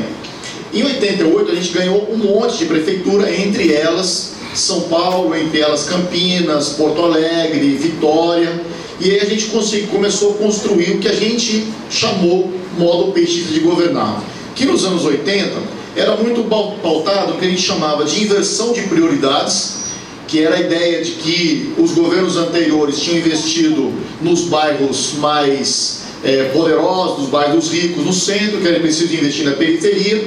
Na participação popular, uma das coisas que foi criada a partir de Porto Alegre, na, na, no governo Olívio Dutra, em 89, foi o orçamento participativo, né? e fora as formas que a gente já vinha batalhando no período anterior, que foram principalmente os conselhos. Né?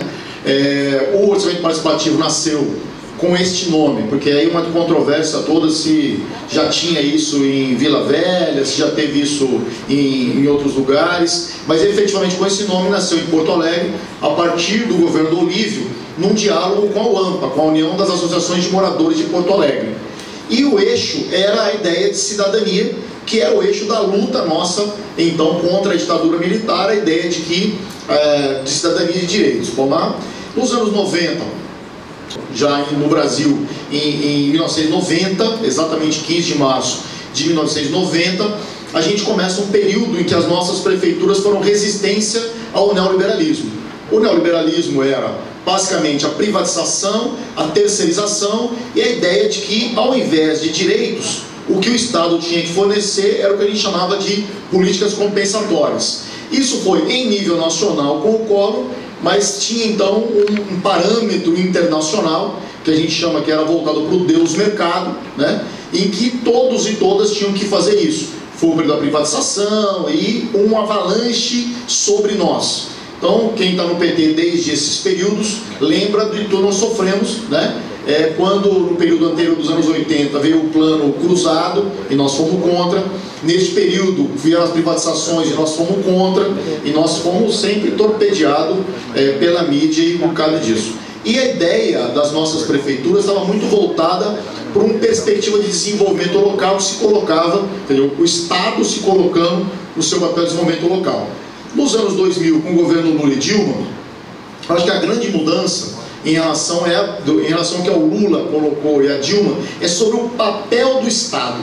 O grande debate que ainda está por trás do que nós estamos discutindo em nível nacional, mas também em nível local, é qual é o papel do Estado, qual é o papel da prefeitura. Né? Se ela é, no período anterior do neoliberalismo, ter políticas compensatórias para as pessoas que, por um azar, ou por incapacidade não conseguiram no mercado né, ter saúde, não conseguiram comprar planos adequados de saúde, não conseguiram ter escola particular adequada, não conseguiram isso e aquilo, é isso é por compensatório do Estado. Havia revisão do papel do Estado, que em nível nacional é feito pelo PAC, pelo Minha Casa Minha Vida, que é uma ideia de que o Estado deve sim coordenar, intervir na economia, é, incentivar, articular. E isso foi feito principalmente no governo do Lula e da Dilma.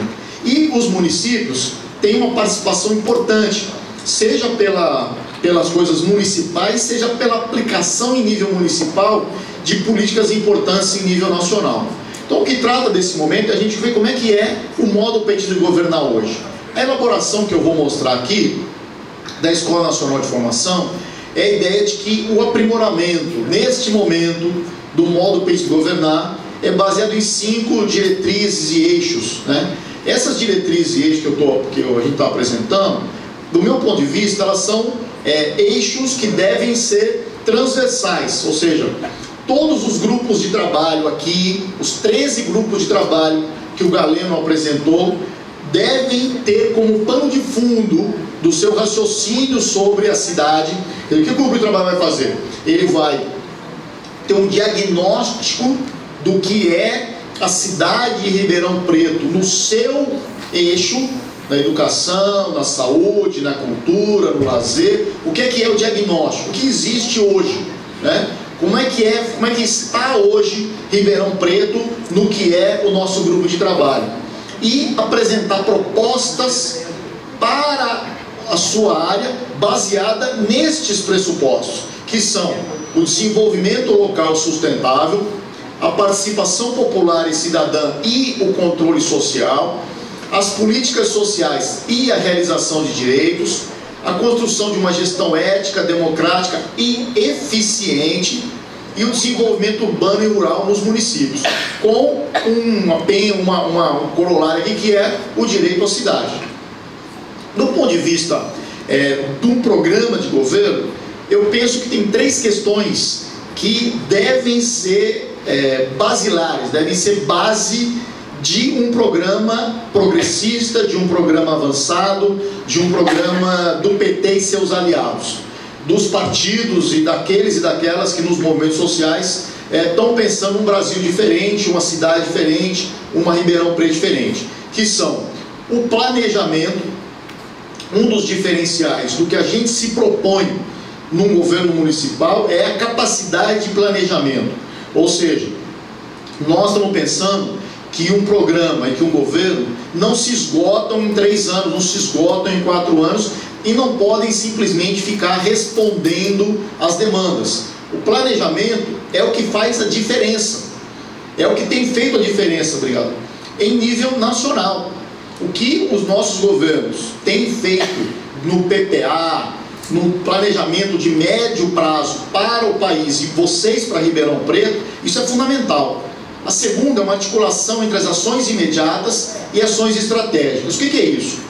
Eu fui prefeito oito anos e eu acho cada prefeito, cada prefeita, cada secretário, cada gestor, cada gestora nossa tem que se perguntar em cada projeto, em cada ação, em cada coisa que for fazer, no que que esse projeto está ajudando. E aí tem que fazer duas perguntas. A primeira, o que está ajudando agora? Quem está ajudando a população agora? E a segunda pergunta é, o que é que esse projeto, essa ação, este programa vai ajudar a transformar o Brasil? Então, um governo nosso tem que pensar olhando o dia a dia e tem que olhar que nós temos um projeto de transformação para o Brasil no qual o governo de Ribeirão, que nós vamos ganhar, no governo de Ribeirão que nós vamos exercer a partir do ano que vem, pode contribuir com esse aspecto geral. E o terceiro, eu acho que é o cultural, o combate ao patrimonialismo e ao clientelismo. Na minha opinião, o clientelismo e o patrimonialismo são dois lados da mesma moeda. O patrimonialismo é a ideia de que, é, que diz né, que veio de Portugal, que em Portugal o rei ele não era só o governante, ele era dono das coisas, né? Então a corte podia, ela era não só governante, mas era dona. Então as pessoas do governo podiam usufruir das coisas do país, das coisas do estado em seu benefício. A ideia de patrimonialismo é a ideia de que o prefeito, a prefeita, o vereador, a vereadora, o secretário, a secretária, o gestor, a gestora, podem usar as coisas para o seu benefício. E, na boa, a corrupção é parte do patrimonialismo. O que é a corrupção? A corrupção dos agentes públicos é usar do cargo que está exercendo para amealhar para si. Ou seja, é usar do patrimônio público como se seu fosse. Agora, o outro lado dessa moeda é o clientelismo. O que é o clientelismo? Clientelismo vem do, do conceito de cliente. Cliente na Roma antiga não é o cara que compra, cliente era o dependente. Né? Então, cliente é o cara que depende de alguém. Tá? E aí, por que, que é o outro lado? Porque a nossa sociedade é, aceita o clientelismo. E agora está combatendo o patrimonialismo, mas são as duas, duas faces da mesma coisa. O cidadão, a cidadã, a pessoa, né? Que aí no, a pessoa nem se considera cidadã, que chega para um vereador e pede um favor, dá para você me arrumar um carro para levar minha sogra no médico não sei aonde, lá em São Paulo? Dá para você me arrumar um caminhão para fazer a mudança para o bairro X? Dá para você me arrumar um botijão de gás? Quem está fazendo isso é cliente. Mas quem está fazendo isso está admitindo o patrimonialismo. Porque por que, que o vereador, o agente público, vai dar um botijão de gás? Porque ele pode retirar o botijão de gás do patrimônio público. Porque ele pode usar do patrimônio público em benefício próprio. E já que ele pode, pode usar em benefício próprio, por que não em benefício a mim, que sou cliente dele, que votei nele? Então, nossa sociedade está corrompida, todinha, porque o clientelismo também é corrupto, porque ele é corruptor. Então, o nosso combate, e eu estou dizendo aqui para vocês, um cara que foi candidato quatro vezes, que foi prefeito eleito duas vezes, e que, portanto, não estou nenhum sonhático que acha que a gente está, é, não sou nenhum, como é que chama, Don Quixote, tá certo? Mas acho que a gente tem uma missão que é fazer a disputa ideológica e cultural. E o enraizamento, portanto, do clientelismo e do patrimonialismo estão na sociedade, tá certo? Por isso é que a gente está propondo o seguinte: primeiro, a ideia de desenvolvimento local sustentável é uma ideia forte porque inclusive a ONU decidiu agora, recentemente, como vocês sabem, que os países e os municípios têm os objetivos do desenvolvimento sustentável. A ONU tinha os objetivos do desenvolvimento do milênio, cuja expectativa era 2015, tá certo? Feito o balanço do que, que, se, do que, que evoluiu, e o Brasil é um dos países que mais evoluiu, como vocês sabem, saiu do mapa da fome, etc, etc.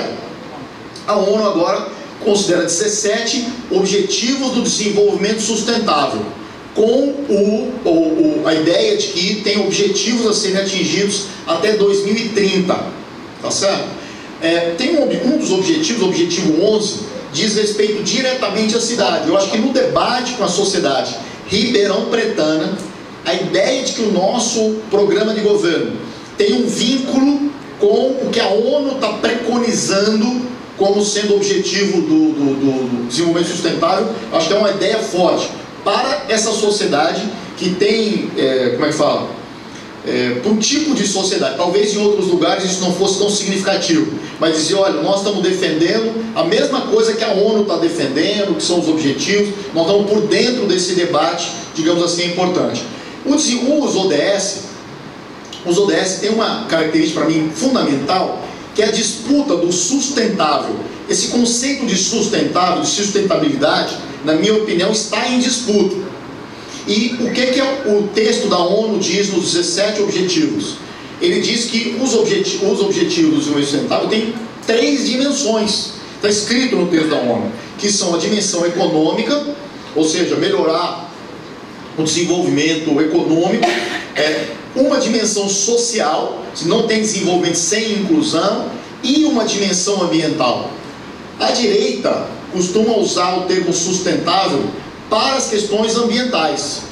E nós temos clareza, e, a, e os objetivos ODS da ONU tem clareza disso, de que os objetivos do desenvolvimento sustentável dizem respeito a acabar com a fome, acabar com a miséria, a diminuir a pobreza, a garantir equidade de gênero, a garantir condições para a juventude, etc, etc, etc.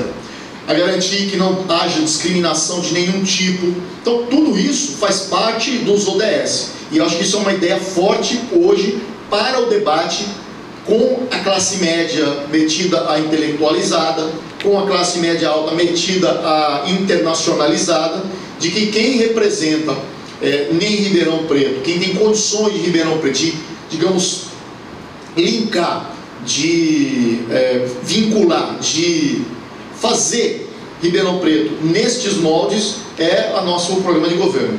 O governo local deve ser indutor do desenvolvimento, portanto. desenvolvimento deve ser articulado entre o governo e a sociedade.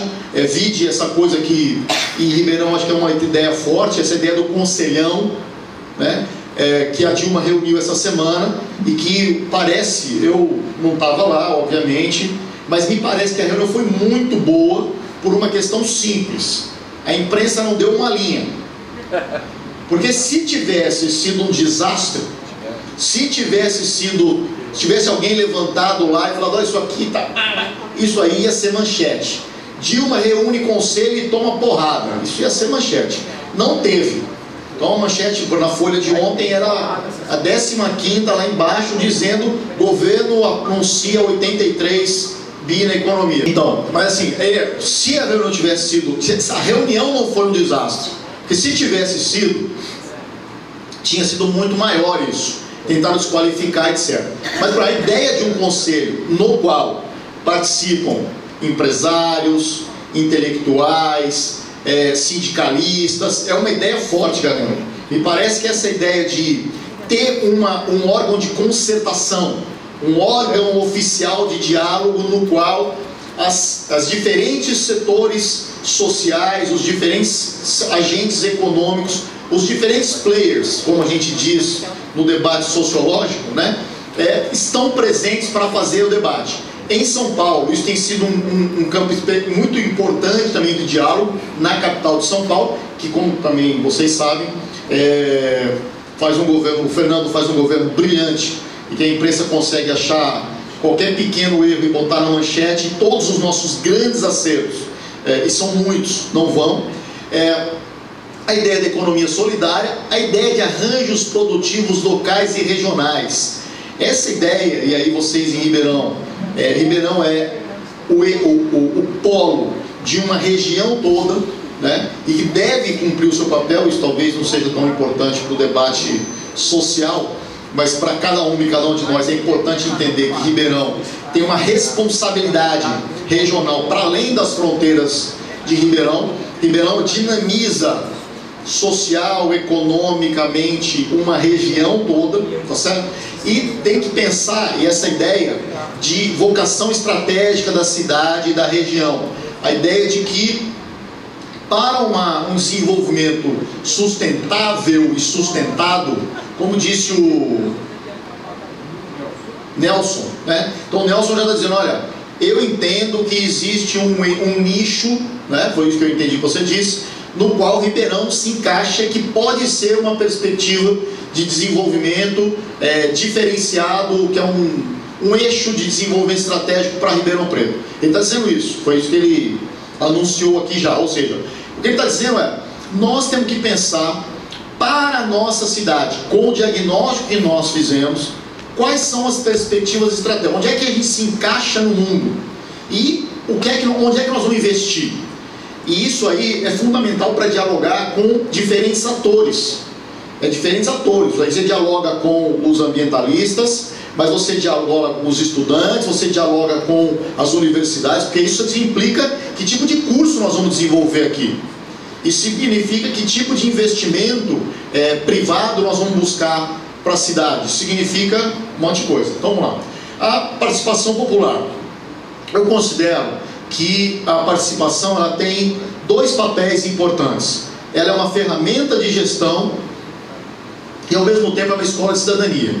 É, ela é uma ferramenta de gestão na medida em que, para a gestão, a gente precisa saber o que as pessoas estão pensando. Eu sempre digo que a gente pode saber isso fazendo uma pesquisa quantitativa, pesquisa qualitativa, com, com, com, contratando bons institutos de pesquisa, você sabe disso. E, é, digamos, todo mundo sabe. E tem um outro jeito que é você chamar as pessoas para conversar, como vocês estão fazendo no PGP. Presencialmente e é, digitalmente, virtualmente, à distância, como vocês quiserem. Mas ela também é uma escola de cidadania. Porque o que nós estamos dizendo para as pessoas é: você tem direito de participar. E as pessoas vão aprendendo a participar. Quando as pessoas aprendem a participar, depois é difícil desaprender. É igual andar de bicicleta. Você pode até ficar um tempo sem andar, sem participar, mas quando vier você aprende. E a gente tem vários canais: o orçamento participativo, o PPA participativo, os diferentes conselhos, as diferentes comissões plenárias, conferências, congresso que pode ter. E tem os mecanismos de controle social. Os conselhos são também mecanismos de controle, transparência, as leis de transparência, essa informação. Vamos lá? Políticas sociais elas são direitos, acho que esse é o, é o mote do nosso governo. O governo do PT e o governo da progressista, o governo mais da Economia Ribeirão, tem que pensar na, na construção, é, pensar na, na ampliação de direitos e de políticas sociais. Uma das coisas que a gente tem que pensar é que isso tem que ter transversalidade, integração e complementariedade. É, é comum nos governos, a gente brinca dizendo que cada secretaria é uma caixinha, né? e que as caixinhas, cada uma fica fechada no seu canto, e as políticas sociais não podem ser isso. A educação não pode ser uma caixinha, por mais que goste de ser, né, professores? A saúde não pode ser uma caixinha, por mais que os médicos e a coisa da saúde achem que é, uma, é um mundo separado, acham que é uma prefeitura. Eu tenho que explicar para a pessoa da saúde sempre que eles não são uma prefeitura, eles são parte de um projeto mais global. Né? E pensar de que a concretização de direitos é uma lógica do governo, é uma concretização dos direitos de diferentes setores, particularmente dos setores que historicamente foram excluídos, de que cujos direitos historicamente não foram contemplados. E as ações afirmativas vão nesse sentido. É, ações afirmativas são ações paliativas de perspectiva de superação de exclusão. A gente tem que ter clareza disso. E não pode ter problema de debater isso com a sociedade. Não pode ter problema de debater as vagas para pessoas com deficiência, de cota para as pessoas negros e negras, de condições especiais para mulheres e etc, etc. Nós temos que ter clareza para discutir isso. Com a sociedade no geral, que geralmente tem muita dificuldade para isso, e com cada um desses setores no sentido da mobilização, inclusive. A gestão ética, democrática e eficiente, a gente tem que ter um governo nosso tem que ser eficiente, não dá não basta ser bonitinho, fazer política, que governar de verdade, tá certo? Para isso tem que ter uma visão sistêmica da gestão pública. É, se vende por aí, eu dou aula em alguns cursos de gestão na Croton, em outros lugares, e tem toda uma política que começou lá no Bressan de nova administração pública, e tem que ter uma clareza de fazer esse debate garantir canais de diálogo com a população, usar a tecnologia como vocês estão usando no PGP como mecanismo de eficiência da prefeitura, criar ouvidoria para o diálogo e ter relações democráticas com o funcionalismo, que é uma contradição que qualquer governo municipal vive e que vocês, neste momento, o diálogo com o funcionalismo deve ser fundamental. Né?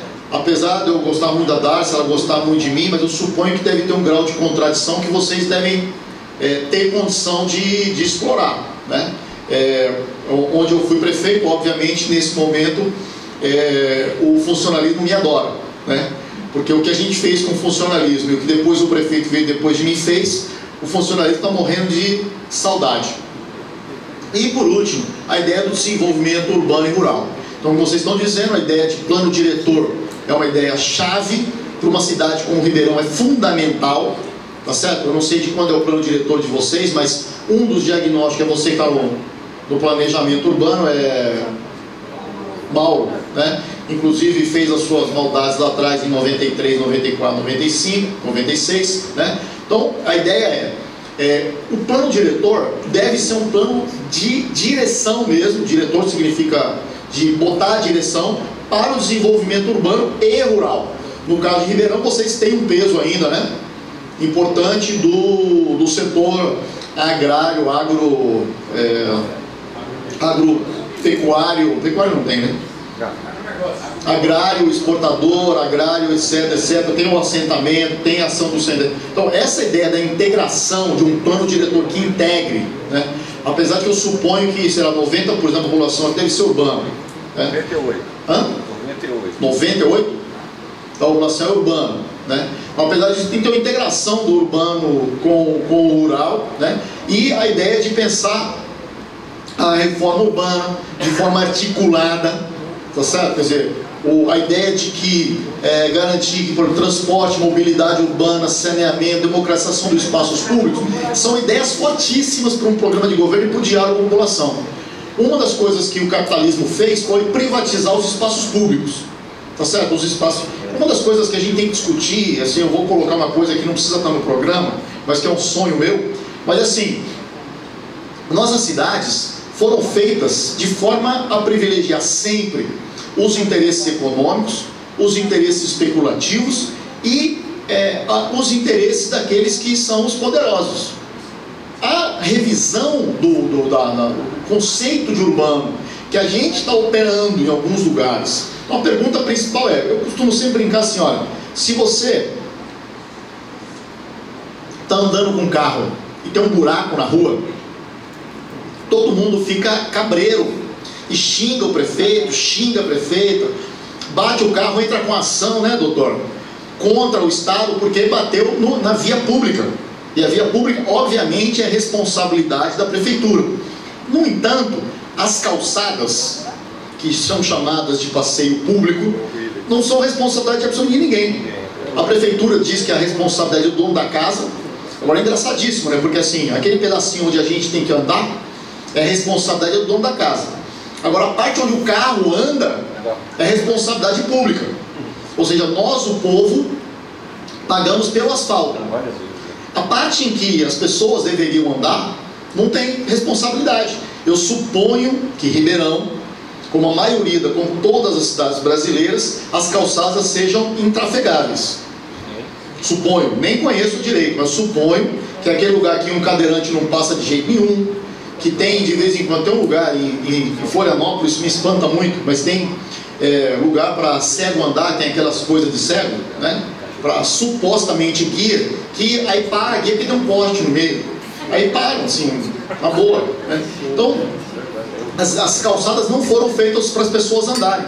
E nós estamos vivendo, e eu acho que esse tipo de diálogo é um diálogo que tem apelo com setores importantíssimos da sociedade, setores da classe média, setores populares. Então, a discussão sobre é, calçado, a discussão sobre ciclovias e ciclofaixas, é uma discussão que, como São Paulo fez uma revolução nesse sentido, e a imprensa tem que meter o pau no Fernando Haddad, então a imprensa diz lá que um senhor aposentado foi atropelado na ciclofaixa. Bom, qualquer. Tem um historiador, cadê o. Quem é o historiador aqui? O Zé, né? Então assim, veja só, na minha conta e o matemático aqui, cadê o matemático? Assim, é simples. Se eu tinha mil bicicletas andando na cidade, ocorria um atropelamento por ano. Se eu tenho 10 mil, a tendência é ter 10 atropelamentos por ano. Se tiverem só 5, nós já evoluímos. Então, eles estão pegando, mas esse debate sobre a urbanidade, sobre a convivência do carro, dos transportes públicos, das, dos, dos mecanismos de transporte não motorizados e do andar a pé na cidade, essa é a revolução do momento. E esse é o debate mais avançado que existe.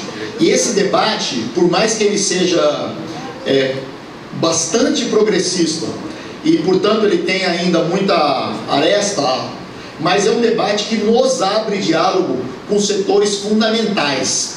A questão da bicicleta, eu não sei como é que é isso aqui em Ribeirão, estou dizendo assim sem diagnóstico do que é Ribeirão, mas em São Paulo ele mudou a cultura. Tá certo? Ele mudou a cultura. Mas tem um apelo. E ele consegue dialogar com setores muito importantes, porque ele significa com os ecologistas, porque é um meio de transporte não poluente, com a saúde, porque as pessoas andando de bicicleta elas têm mais, é, como é fala, adoecem menos, com a mobilidade, porque tira carro, cada pessoa com carro, uma pessoa com bicicleta ocupa um espaço desse tamanho e uma pessoa com carro ocupa um espaço desse tamanho. Então, tira do trânsito é uma, um debate fundamental essa ideia do, da, da, da, das outras formas de mobilidade. E eu acho que tem como é, fazer esse debate e trazer esses setores e fazer esses setores nos, é, como eu falo, não só nos apoiarem, não só estarem presentes, mas fazer o debate na sociedade. E eu não tenho dúvida nenhuma que o nosso programa de governo é o que vai estar mais avançado nesse sentido. E por último, eu acho que o direito à cidade é o eixo condutor do governo petista. Direito à cidade é a ideia exatamente de para que, que existe o governo municipal. É uma ideia de para que, que tem governo. E aí, na boa, o debate é: o governo existe para garantir os direitos ou o governo existe para garantir o lucro? E esse é um debate que na minha opinião, a gente não precisa discutir isso com a população a todo dia, toda hora, mas tem que escolher ou um ou outro. Né? Ou você garante os direitos, ou você garante o lucro, tá certo? E eu acho que para a gente poder fazer esse debate agora, uma das coisas que eu queria colocar é o debate sobre o programa de governo é parte integrante da campanha, na minha opinião. Que nós estamos propondo aqui, o que o Galeno nos propôs aqui, são mecanismos de fazer avançar o nosso diagnóstico, de fazer elaboração de propostas coerentes, propostas é, razoáveis para a cidade de Ribeirão Preto, mas também já é um mecanismo de incorporar gente na campanha. Tudo isso que eu disse aqui, e cada um dos programas do, dos, dos grupos de trabalho, pode e deve buscar no processo de debate, para atendendo isso, dialogar com os setores com os quais pode dialogar, trazer para dentro do debate sobre o programa que nós vamos executar a partir do ano que vem em Ribeirão Preto, significa dialogar com esses setores significa trazer esses setores para a nossa campanha. Então, o programa de governo, para mim, é muito claro. Ele é, ao mesmo tempo, ferramenta de elaboração e ferramenta de mobilização, de construção do diálogo. Ele já é parte da campanha. Ele não é, ele é parte da campanha como pré-campanha. Como bem assinalou o Galeno, ah, e vocês viram aqui, o calendário eleitoral desse ano é para não existir eleição. O calendário desse ano ele privilegia quem está no governo, não tenho dúvida sobre isso. É um programa, uma eleição que vai ter 30 dias de campanha na televisão, que vai ter 40 dias de papelzinho na rua, tá certo? Que ninguém, e aí a dificuldade nossa, e por isso é importante o PGP, por isso é importante começar desde já, apresentar uma cara nova. A eleição, esse, essa regra que o Eduardo Cunha e os seus pupilos é, aprovaram, é uma campanha que está dizendo assim, está é, traduzindo no corintiano, está proibido apresentar uma cara nova nessa eleição. É mais ou menos isso essa lei eleitoral. Ela está dizendo, uma cara nova não vai entrar. Por quê? Porque em 30 dias, em 40 dias, sem um real, sem doação só de CPF, etc. É impossível. Então, o que nós estamos propondo, o que vocês estão fazendo, é dizer, nós vamos começar a eleição, a campanha dia 15 de agosto. Nós vamos começar a campanha dia 31 de janeiro. Né?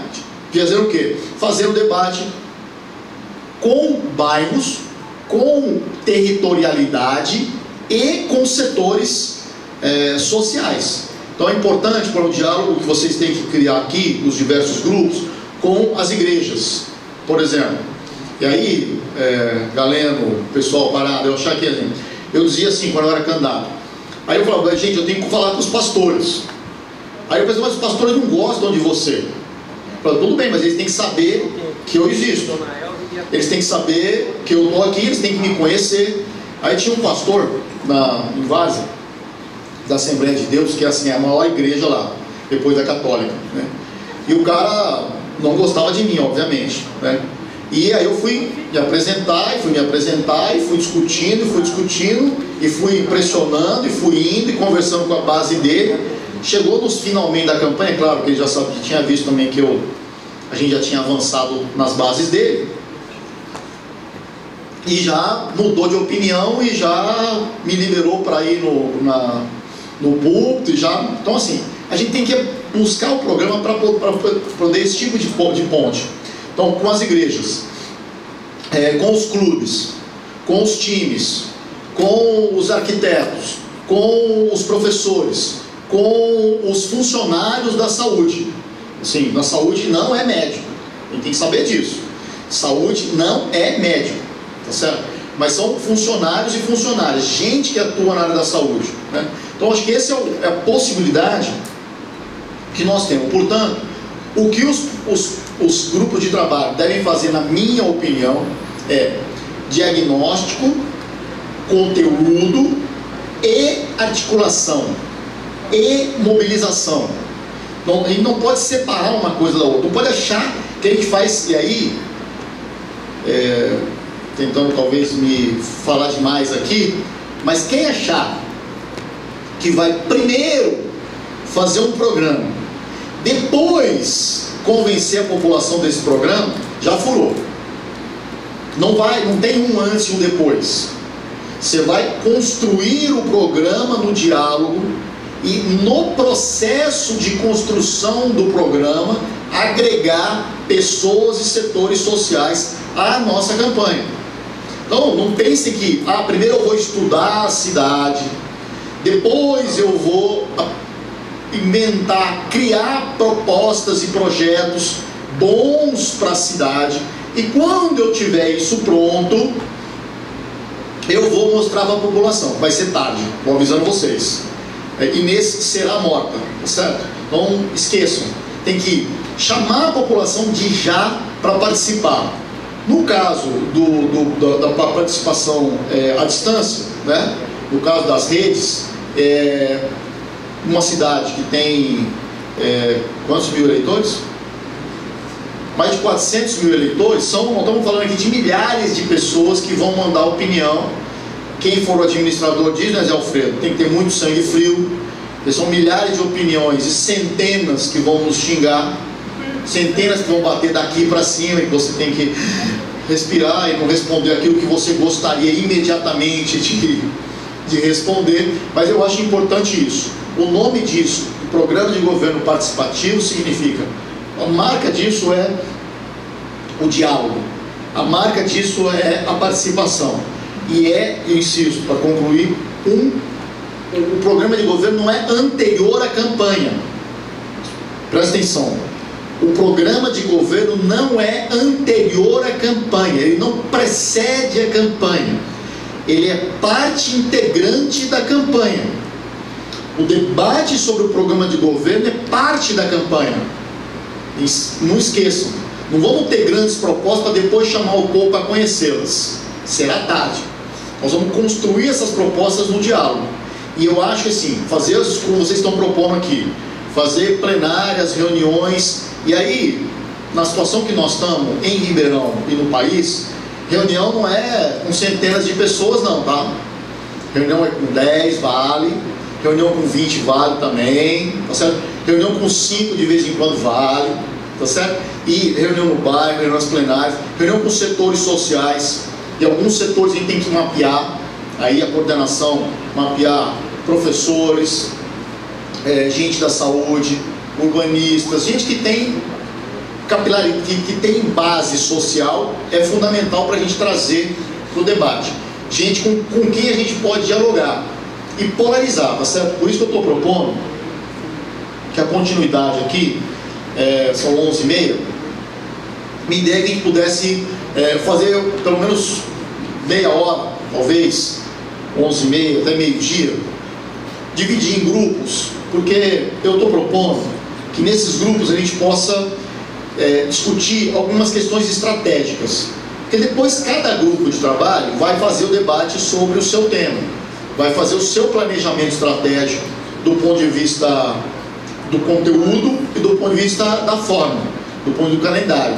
Eu estou propondo que a gente é, discuta agora três questões que eu acho que são estratégicas para o programa de governo, que são que tipo de proposta não pode faltar no nosso programa de governo, poucas, né, pra, vamos fazer o programa de governo aqui, que proposta, isso é um debate importante para a gente começar, é, que proposta pode, do ponto de vista de vocês, polarizar a sociedade é, ribeirão pretana?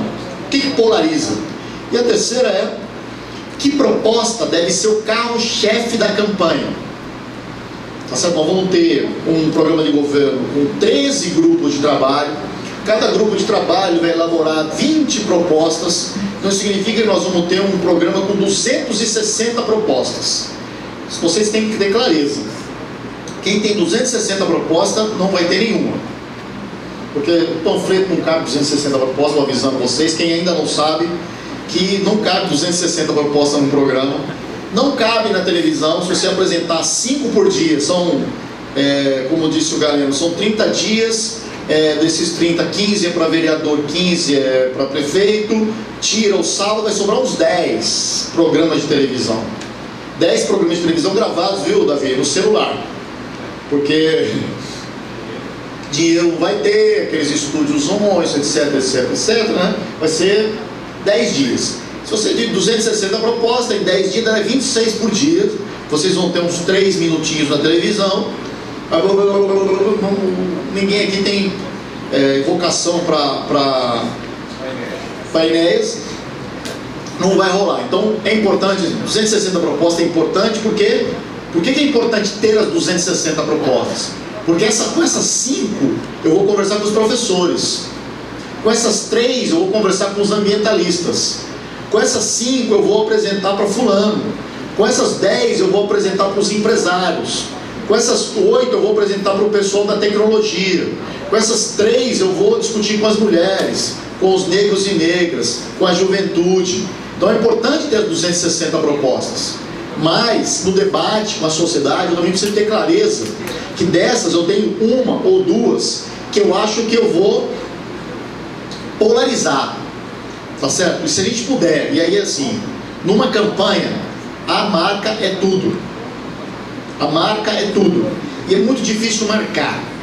Tá certo? Eu estou falando para vocês, é muito difícil conseguir ter uma marca. Então a marca é, por exemplo, a campanha do Fernando Haddad. O que as pessoas é, votaram nele era o novo. Como diz o Mário Reale, lá em Diadema também, porque lá em Diadema passa a mesma televisão de São Paulo, e as pessoas também votaram no novo, que era o outro, que era o caso do PV. Né? Então, o novo.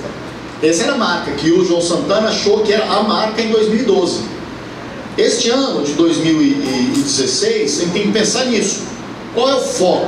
O que, é que vai estar polarizando a sociedade ribeirão pretana?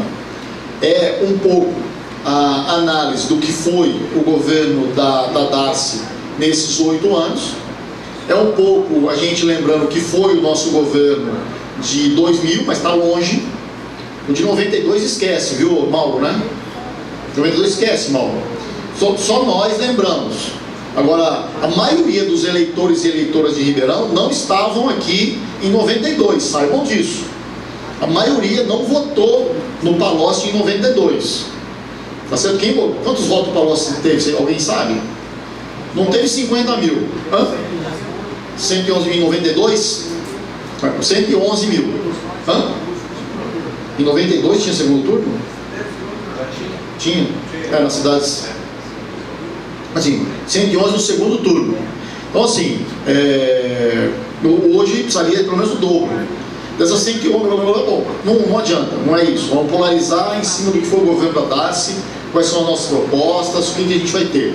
A gente tem nessa, nesse clima nacional contrário a gente, a gente vai ter que fazer o debate sobre as coisas da cidade. Tá certo? Uma coisa que sempre foi o nosso ponto forte é nós somos o time do Lula, nós somos o time da Dilma, nós não somos, não vamos dizer que não somos. Mas não é isso que vai polarizar mais. Tá certo? Não é isso que vai polarizar mais. É, o que vai polarizar é quem vai resolver o problema da cidade da Ribeirão Pretano. E aí, ou é o, enca, é o encalacramento, é o, é, o, é o travamento no desenvolvimento. Com quem que eu consigo dialogar com isso? Essas são as questões que vocês têm que pensar, tá certo? Então, minha proposta é a seguinte, 11 e 40 é que a gente, são, nós somos em 40 pessoas, que a gente fizesse quatro grupos de 10, pode ser, galera? Então, um grupo aqui, um grupo aqui, um grupo lá e um grupo lá, para não dispersar muito, a não ser que, cadê o Cláudio? Que queira que faça de outro jeito, Cláudio. Também a proposta é a seguinte, como vocês estão meio assim mesmo, então assim, é, esse grupo aqui, cada 10 pessoas, fica 10 pessoas aqui, 10 aqui, 10 ali e 10 ali, tudo bem? Dividam-se como vocês quiserem. É, não mais de 10, porque isso vai ser simples. Eu, não vai ter problema. Aqui não vai ter muito esse negócio de juntar galera. Não tem galera, não tem problema, tá bom? E aí propósito, eu vou tentar. É, acho que não tem aí no meu. Então é o seguinte, vamos lá. As questões são: que tipo de proposta não pode faltar no PGP? Que proposta ou propostas podem polarizar a, a sociedade ribeirão-pretana E que proposta pode ou deve ser o carro-chefe da nossa campanha? Está claro isso? Então, um, o que, que não pode faltar? Dois, o que, que pode polarizar? Três, proposta carro-chefe. Ok? Então, meia hora só para isso. Pode começar a dividir. O povo daqui daqui fugiu para lá. Então lá. Um, dois, um, dois, três, quatro, cinco, seis, sete, oito, nove, dez. Claro. O grupo lá do fundo, quem que vai falar em nome do grupo do fundo? É, Lucas. É Lucas, né? É. Vamos lá, Lucas. Dá mais um. Hum. Eu vou tentar já ir. O que é esse adesivo?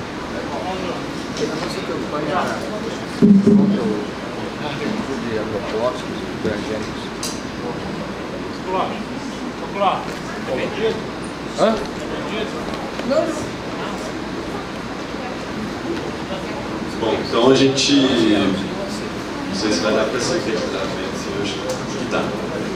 É, a primeira questão, a gente, que não poderia faltar, campanha, né?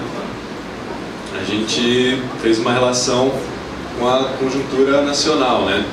Que, como foi dito aqui, desde 2005, na verdade, desde que existe o PT, né? Mas mais sistematicamente, desde 2005, o PT não consegue é, se dissociar da, da, imagem de corrupção, da imagem de, de é, patrimonialismo, né? É, apesar da gente saber que é um discurso muito mais midiático do que real.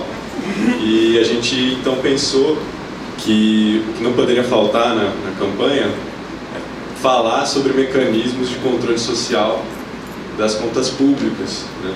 É, e bater na tecla da transparência. Né? A gente tem leis de transparência, mas não tem mecanismos nem de ouvidoria, até tem, mas não funcionam, né?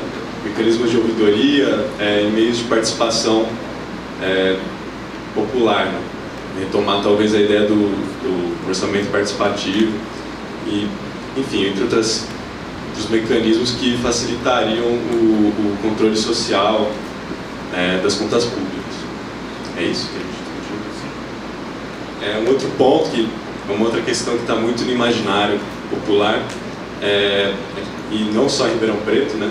De que a cidade já carece de, de infraestrutura, né? Precisa de reformas, principalmente é, pessoas falam buraco na rua, né? A gente sabe que isso é uma questão menor, mas que pode ser, pode ser discutida no âmbito mais, mais geral, né? Então a gente acha que a discussão da infraestrutura é algo muito visível, muito, muito tangível. Eu acho que a gente, a gente dentro não pode faltar esse debate também.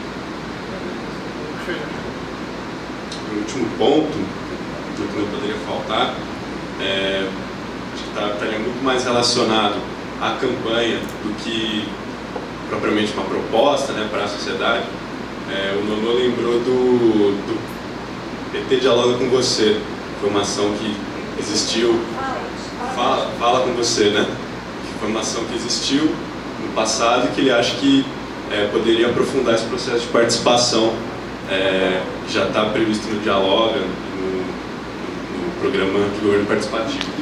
Isso. Então, de visitar das lideranças visitarem mais os bairros e, e estar mais em contato com a população. É isso, né? A questão é criar mecanismos de participação da população. Uma e... delas é essa aí. Mas é criar mecanismos antes que a gente dialogue, já está acontecendo isso de uma forma indireta. Criar mecanismo direto de participação durante a Claro. A segunda questão, o que polarizaria né, o, o debate eleitoral, é, a gente entende que a, a tem uma imagem já muito desgastada, a gente vai ter que propor um, um candidato que se mostre é, com preparo e capacidade administrativa. Né? Uma pessoa que se demonstre apta a governar e administrar. Mais ou menos isso. E último ponto, terceiro, que seria o carro-chefe da, da campanha, é, acho que a, a, gente colocou que a própria discussão do direito à cidade, né? é um conceito do geógrafo David Harvey, que é muito caro e que eu acho que dá para discutir uma série de questões, né? desde o do, do, do passe de ônibus, a tarifa de ônibus, o acesso a equipamentos públicos. Então, fazer uma, uma campanha centrada nesse, nesse conceito de direito à cidade. Isso tem a ver também com transferência de renda, né? Entendeu? Como diz esse econômico, isso que vai economizar, que vai. Você não precisar se deslocar, né? Você tem um bairro dele, né? Emprego, e um acesso ao transporte, ele vai valorizar a propriedade dele. É que eu acho que é um, é um ponto que o Haddad toca muito em São Paulo e, e que além de ser por ser um carro-chefe, polariza muito também, né? Polariza até de um jeito meio perigoso, assim, né? a gente vê, fazer ciclovia hoje virou coisa de comunista e tal, mas eu acho que atrai setores importantes da população. Pra eles pintar de vermelho, igual o São Paulo. É, o grupo daqui, aqui, quem quer vai falar?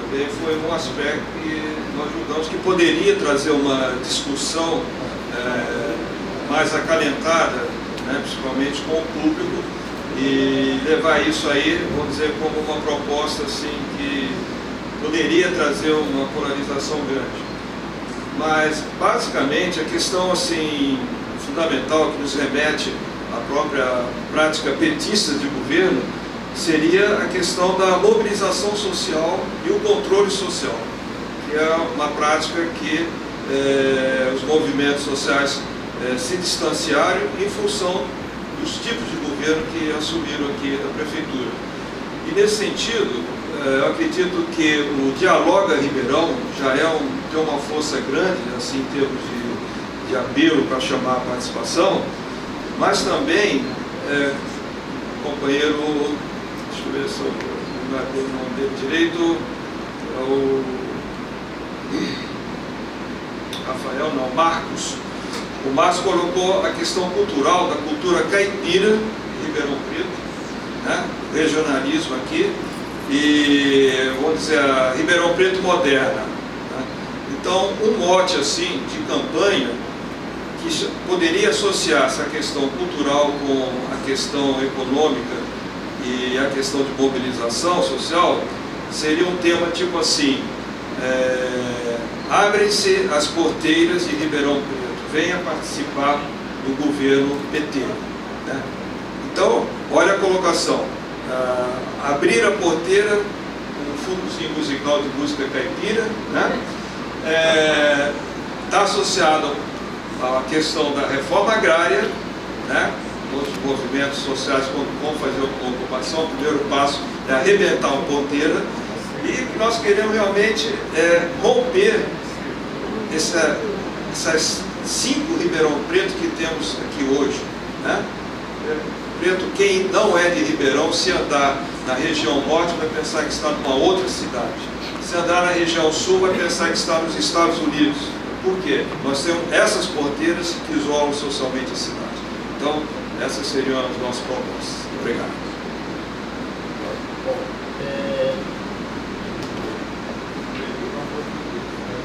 Eram quatro, mas alguns debandaram antes e ficaram três. Houve uma. no meio da confusão, como diz o Pará, a gente fez uma fusão. Uma coligação e, e ampliou um pouco cada um dos. É o seguinte, eu acho que os grupos foram muito bem. Acho que a, a lógica mesmo é essa de tentar é, usar essa massa crítica que a gente reuniu aqui hoje para pensar algumas coisas mais estratégicas que podem dar marca. E aí, assim, o que nós estamos discutindo aqui, por enquanto, que as pessoas apresentaram, como vocês perceberam, são coisas gerais do programa que não dizem respeito a um ou outro grupo de trabalho específico. Né? São coisas gerais que, portanto, devem ser pensadas em cada grupo de trabalho. Então, sobre mecanismos de controle social sobre os recursos públicos, essa ideia de o que está na pauta da mídia é a corrupção. Então, o que nós estamos dizendo aqui é: nós vamos apresentar um programa de governo que já vai pensar, antes de ser governo, em mecanismos de garantia de que não vai haver corrupção. Então, é um tema que vai, que se eu entendi, ao encontro do debate que as pessoas estão fazendo na, na cidade. Né? E sobre a participação social então, na destinação dos recursos públicos. Então, é o controle sobre a arrecadação, sobre o quanto tem e o controle sobre onde vai gastar. Né? Prestação de contas, aumento participativo, e aí as coisas que vocês podem pensar né? nos idos de 1990, é, lá em Capuí, no Ceará, uma das poucas prefeituras que a gente tinha, o prefeito lá, o é deputado federal agora, botar. Não é mesmo? De Capuí não. É. Ele botava no muro, a cidade pequena botava no muro da cidade o orçamento, para a forma de transparência. Bom, o Ribeirão, do tamanho que tem, nas condições que tem, mas você pode pensar e dizer que vai ter uma coisa online da arrecadação.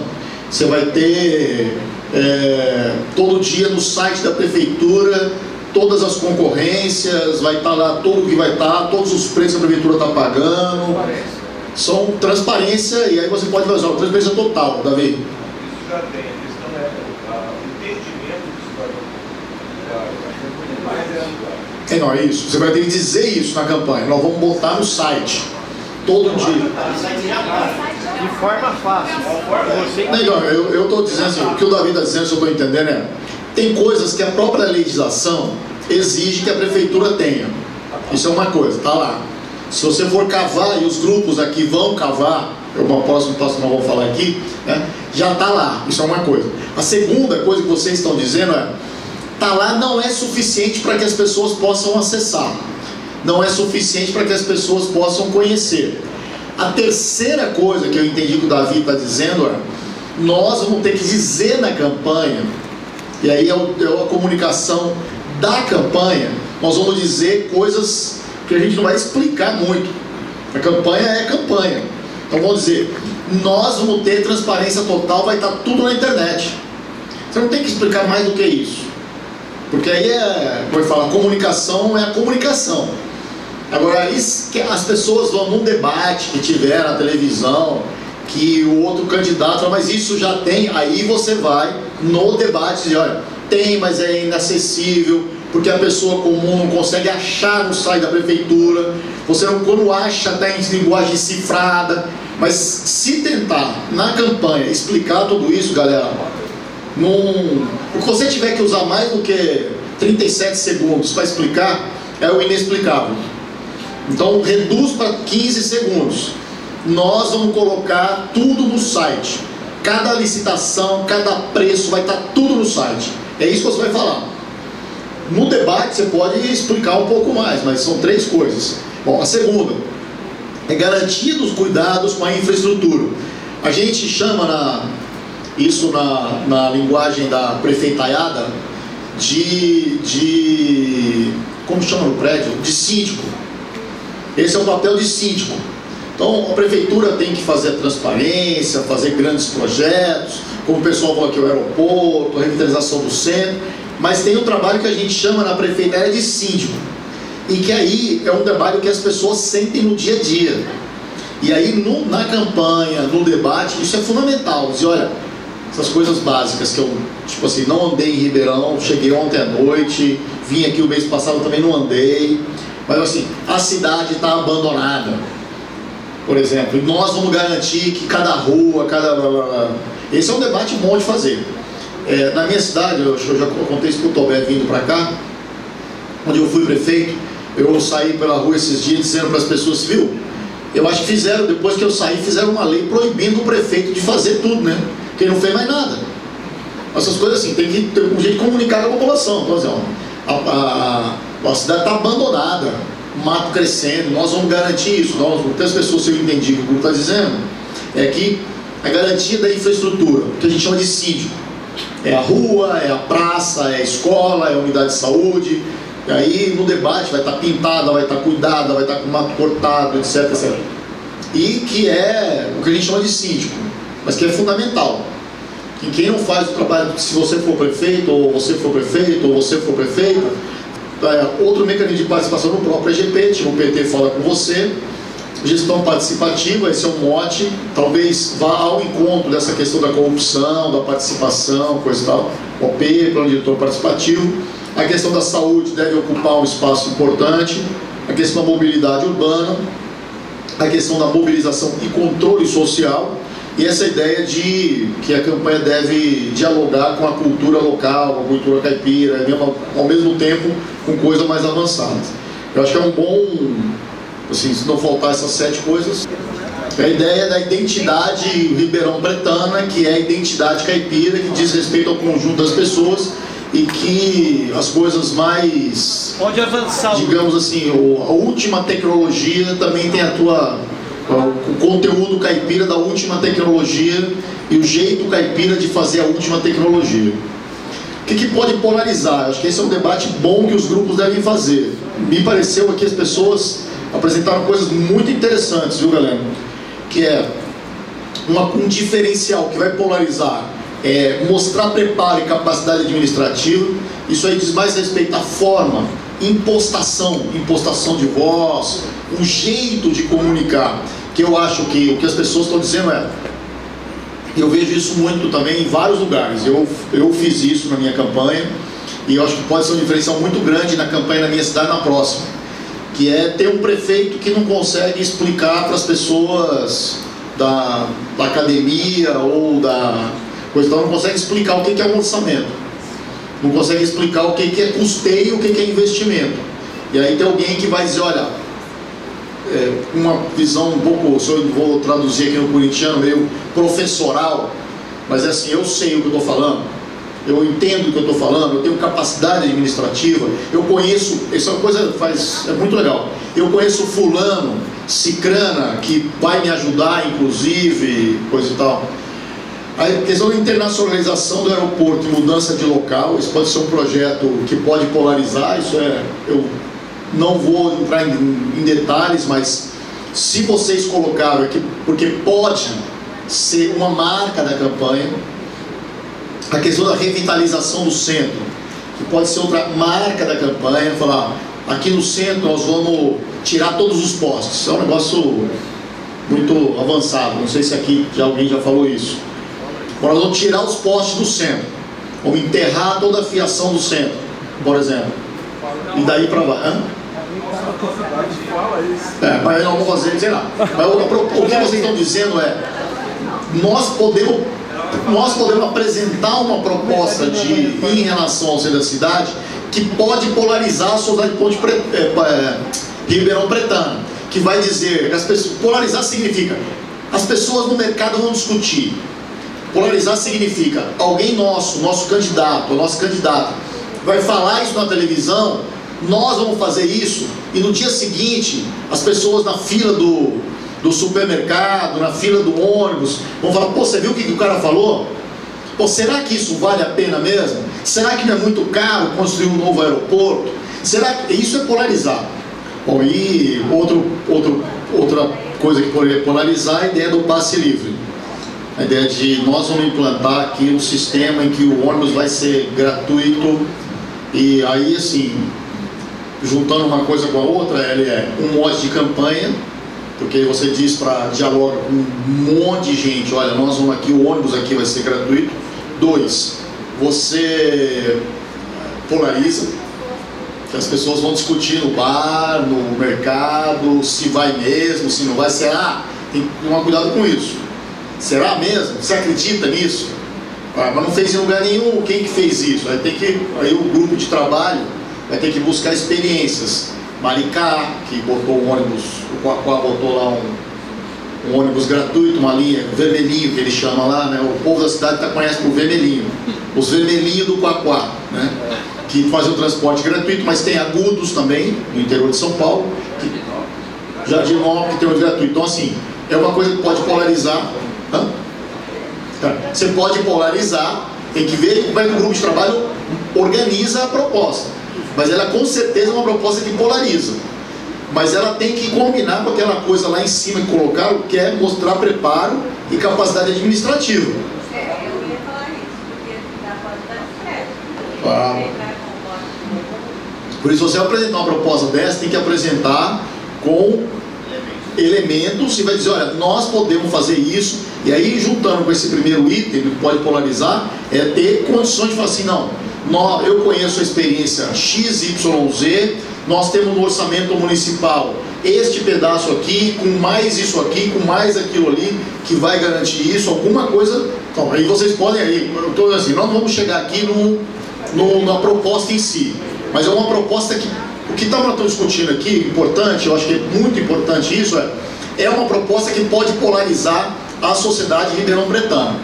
E eu acho que esse tipo de proposta é o que pode, principalmente nas condições nas quais nós vamos disputar a próxima eleição, é uma proposta deste tipo que pode fazer você ir para a dianteira. Só um, um parênteses, a melhor forma de campanha que eu já vi e que eu nunca consegui fazer é, é fazer uma proposta dessa na televisão e botar gente nossa para discutir isso no ônibus. Então lança um negócio desse, a oposição, a nós. Assim, veja só, isso, eu, isso eu, eu nunca consegui fazer. O que eu, faz, o que eu fiz em, em 2004, quando eu me elegi prefeito, foi que a gente não, mas era uma questão é, financeira, a gente não tinha dinheiro para fazer campanha. Então, o que, que eu fiz? O que, que eu fazia?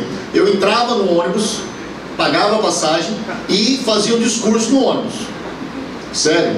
É, e fiquei assim, primeiro conhecido, assim, eu entrava, pagava a passagem, esperava o ônibus encher e fazia um discurso. Aí descia, pegava o próximo, descia, pegava o próximo.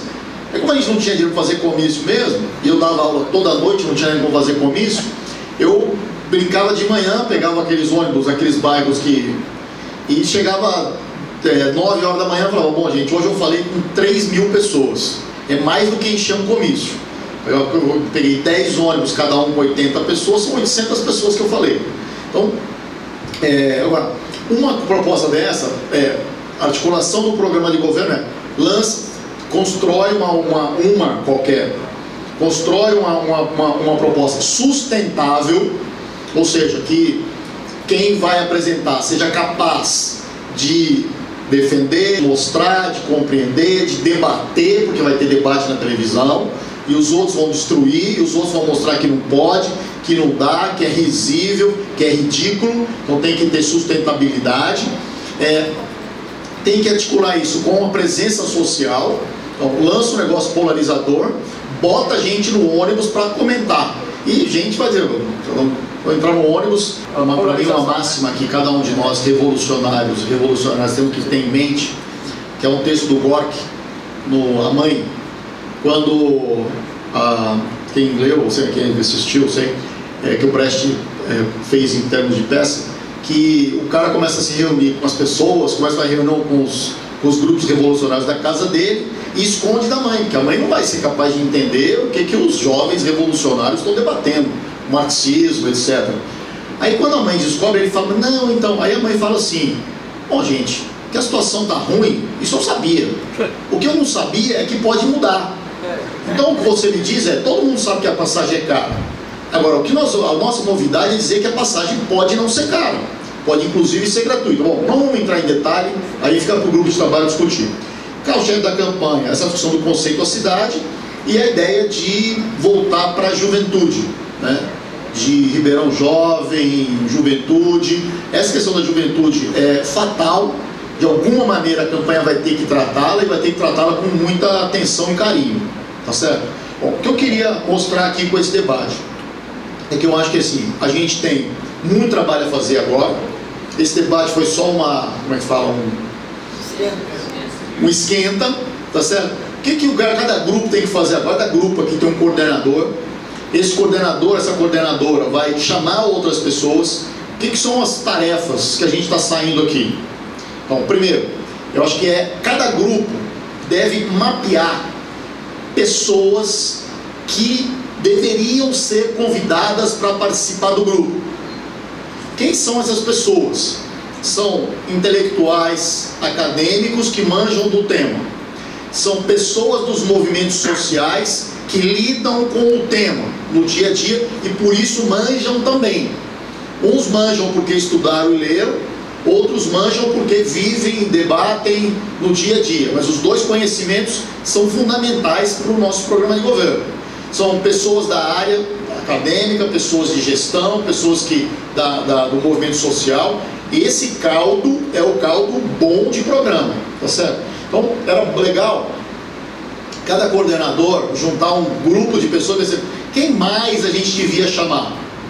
Pensando em quebrar o corporativismo, então, reforma urbana não pode ter só arquiteto, tem que ter o povo do movimento de, de moradia, tem que ter o povo que. É, e assim por diante. O de educação, principalmente, não pode ter só professor. Um, um, grupo de educação que só tem professor, eu vou dizer para vocês, eu sou professor, eu dou aula. Eu dou aula há 35 anos, tá certo? Fui professor minha vida inteira, sou professor. Durante os oito anos que eu fui prefeito, eu fui prefeito e professor, continuei dando aula, dou aula de História e Educação, continuo dando aula. É, e sei que assim, um grupo de trabalho só de professores só vai falar que o problema é o salário. É a minha raça e por isso não tem problema de falar isso, tá certo? Então, trabalho, é, na minha opinião, é, galera, trampo número um de cada coordenador é juntar um pouquinho de gente e pensar quem são as mais gente que devem ser chamadas. Dois, é, como é que faz um diagnóstico daquela situação no município? E o diagnóstico é concreto. Vocês perceberam que o que nós discutimos aqui foi coisas legais. Ah, legal. Agora, quanto é o ônibus? Quanto é o custo da passagem do ônibus aqui? O debate sobre o passe livre em São Paulo, que está sendo muito bom, na minha opinião, porque o movimento do passe livre está dizendo, olha, em síntese, transporte também é direito. Se a educação é gratuita, se a saúde é gratuita, o transporte tem que ser gratuito. Resposta do prefeito: pode ser gratuito, só que essa gratuidade custa X milhões. Resposta da sociedade, que o prefeito deveria fazer, na minha opinião, esse é o problema do, do, do o prefeito deveria falar para a sociedade: olha, vamos discutir aqui. Para fazer o passe livre custa X milhões. Está aqui o orçamento. Da onde nós vamos chamar os X milhões? Nós vamos criar, que é a minha proposta, que tem que ser nível nacional. Vamos criar uma CID sobre os combustíveis, que vai render mais X milhões, e nós vamos aumentar o subsídio e baratear a passagem. Mas esse é o debate que a pessoa tem que fazer. Agora, qual é a situação real em Ribeirão? Qual é o IPK, o índice de passageiro por quilômetro que, que tem aqui em Ribeirão? Qual é o custo, etc, etc, para poder é, ter o um debate. Então, um diagnóstico, e aí cada grupo de trabalho e os coordenadores, as coordenadoras têm que se ligar nisso, é, caçar, caçar informação na internet, caçar informação com pessoas que conhecem da área, isso é muito importante, inclusive gente da própria prefeitura que vocês sabem disso.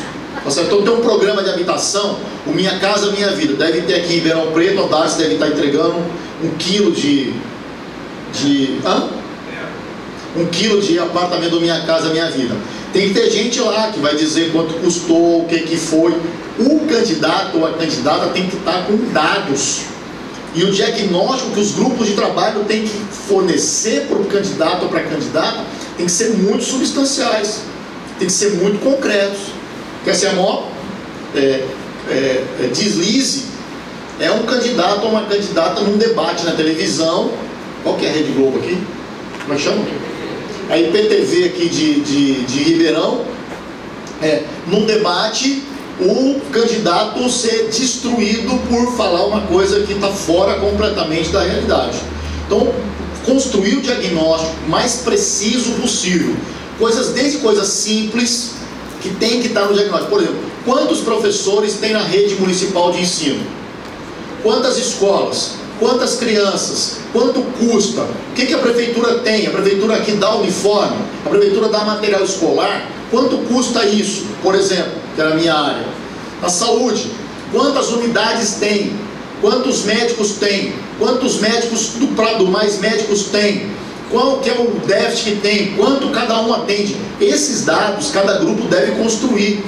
Tá certo? Quais são as políticas para mulheres que tem aqui implantadas na cidade de Ribeirão? Quais são, qual é o impacto de cada uma dessas políticas se existem? Porque o diagnóstico é base para depois poder fazer proposta em cima. Tá certo? Então, construir o diagnóstico é caçar informação. Então, cada grupo de trabalho deve procurar pessoas, porque aquela velha história, né? Eu posso não saber tudo, mas eu tenho que saber quem sabe. Essa é a função do coordenador da coordenadora. Não tem que saber tudo, mas tem que saber quem sabe. Eu não sei disso, mas eu vou ligar e vou conseguir essa informação. Bom, dos programas, é importante que cada grupo de trabalho possa acessar outros programas para ter criatividade, para ter ideia. Então é bom pegar o programa de outras cidades, pega o programa de São Paulo, do Fernando Haddad, pega o programa que vocês apresentaram aqui em 92 ainda, que pelo que falaram que foi um bom programa, segundo o Galeno, o programa de 92 foi muito avançado, de 2000 já foi, vamos ganhar mesmo, e temos um candidato bom, né? O, o programa de governo que o Padilha apresentou em 2014, que o Mercadante apresentou em 2010, que são programas estaduais, mas que podem ter projetos e propostas que podem ser traduzidos em municipal. Ninguém cria do nada. Como já diria Lavoisier, né? Assim, você vai, você olha o que alguém fez e, e, e cria em cima daquilo. Então é importante ter diagnóstico de um lado e é, conhecer propostas que foram feitas ou foram articuladas ou foram realizadas por prefeituras, do PT de preferência. Mas se elas foram realizadas pela prefeitura, é, uma, é um dado fortíssimo. Falou, não, olha, nós vamos fazer isso e lá não sei aonde a gente fez e funcionou. Né? Bom, por último, é, tem que depois pensar aí, o Zé Alfredo e outros vão pensar como é que divulga tudo isso, como é que faz a comunicação. Porque uma coisa é a proposta, outra coisa é como ela vai ser falada. Pode deixar que a Globo divulga para nós. Como é que é? Pode deixar que a Globo divulga gratuitamente. Isso, pelo menos aquilo que for para detonar a gente, ela vai divulgar gratuitamente. Por último, duas coisas. A primeira é muita reunião. E muita reunião para poder ouvir. Isso é fundamental. Tá certo? Assim, sentir a temperatura é tudo. E ouvir as pessoas. É, às vezes é mais, você ganha mais a pessoa de ouvir ela falar do que de tentar explicar para ela alguma coisa que ela não quer ouvir. Tá certo? É, muita reunião para ouvir. Vai no bairro, deixa desfilar, aquele monte de gente. O é bom, o Parada é bom, o pessoal aqui pode dizer, senta na mesa lá, e aquele pessoal vai ouvir. Ah, porque é o, o cara do bairro, porque é o médico, porque é o buraco, porque é a árvore, porque eu pedi para cortar a árvore na minha rua e não cortaram, porque tinha. Deixa eu falar. E aí vai construindo o candidato, a candidata, o coordenador, a coordenadora do grupo de trabalho, vai construindo uma síntese de como é que resolve, como é que responde aquilo. Tá certo? E depois, depois faz uma síntese. Mas ouvir é fundamental. E muita reunião para ouvir. Reunião de bairro, reunião de grupo, reunião de setor, reunião de professor, que vai reclamar tudo, reunião de gente da saúde, reunião de ambientalista, que vai fazer aqueles discursos de proteção de não sei o que, de proteção de não sei o que lá. Os ambientalistas sempre vêm com um monte de, como é que fala? Um arcabouço enorme, né? Coisa e tal, mas faz reunião com ambientalista. Faz reunião com o pessoal que gosta de bicho, faz reunião com o pessoal que gosta de mato, faz reunião com o pessoal que gosta de peixe, deixa eles falar. Isso é fundamental. E vai anotando. E, e assim, do ponto de vista muito objetivo, pragmático, prático. Aquele pessoal fala aquele monte de coisa, sempre aquele monte de coisa tem uma outra pérola que você fala, caramba, aquele senhorzinho, aquela senhorinha me deu um gancho, uma luz para como é que eu vou fazer esse debate na, na televisão. É bom ouvir, você é legal ouvir. Naquele monte de nhaca, sempre tem uma coisa legal. Ou sempre não, mas às vezes, vai. Mas quando às vezes aparece, tá certo? E o pessoal então dos grupos de trabalho tem até março para poder produzir isso. Isso significa que tem pouco tempo. Tem o carnaval no meio, semana que vem já. Então é sair daqui, juntar. Um, quem mais a gente vai chamar para participar desse grupo? Dois, marcar reunião semanal do grupo para poder avaliar. Três, distribuir entre as pessoas que já estão no grupo quem vai buscar informação de que e aonde. E quarto, quem vai buscar outros planos de governo, outras ideias, coisa e tal. Ou seja, é muita coisa para fazer. Muita coisa para fazer, um período curto para fazer e já ir, e assim, não tem tempo de é, parar o carro para trocar a roda, vocês já sabem disso. Nós vamos trocar a roda com o carro andando. Dizer, enquanto faz tudo isso, enquanto busca informação, enquanto lê os programas de governo de, de Ribeirão, de outras cidades, de outros estados, já vai fazer uma reunião também. Então, esse é o, é o embrólio que tem que fazer, tá certo? Mas eu tenho certeza que assim, é o que tem que fazer na pré-campanha. O que dá para fazer agora em fevereiro, dá para fazer em março, dá para fazer em abril, dá para fazer em maio. Se a gente fizer isso, com essas condições todas, vamos juntar massa crítica boa, e aí, quando vier um debate na televisão, quando vier um negócio, vai ter gente, inclusive, para a gente procurar, para perguntar, e aí urgentemente, né? Ó, liga para fulano para perguntar um dado, alguma coisa assim. Se a gente juntou esses grupos de trabalho, juntou gente com condição, a gente depois pode acessar essas pessoas para uma outra coisa.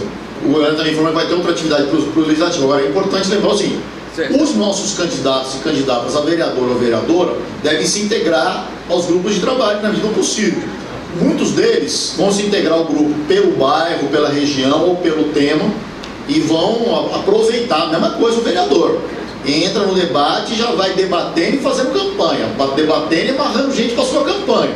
Debatendo e já pegando endereço, debatendo e pegando telefone, debatendo e pegando e-mail, tá certo? É, é, é, é isso aí, tá bom? Então, obrigado e até a próxima. Para encerrar, é, nós havíamos combinado, a gente tem ainda um vídeo né, gravado pelo coordenador do IGP. Acho importante é, fazer aqui novamente um agradecimento para, para o Paulo Honório, que é militante, é artista de primeira hora, atua aí nos movimentos sociais, está integrado ao de habitação, ficou ali quietinho, mas ele está fazendo um trabalho aqui de registrar mais esse evento para a Rede PT.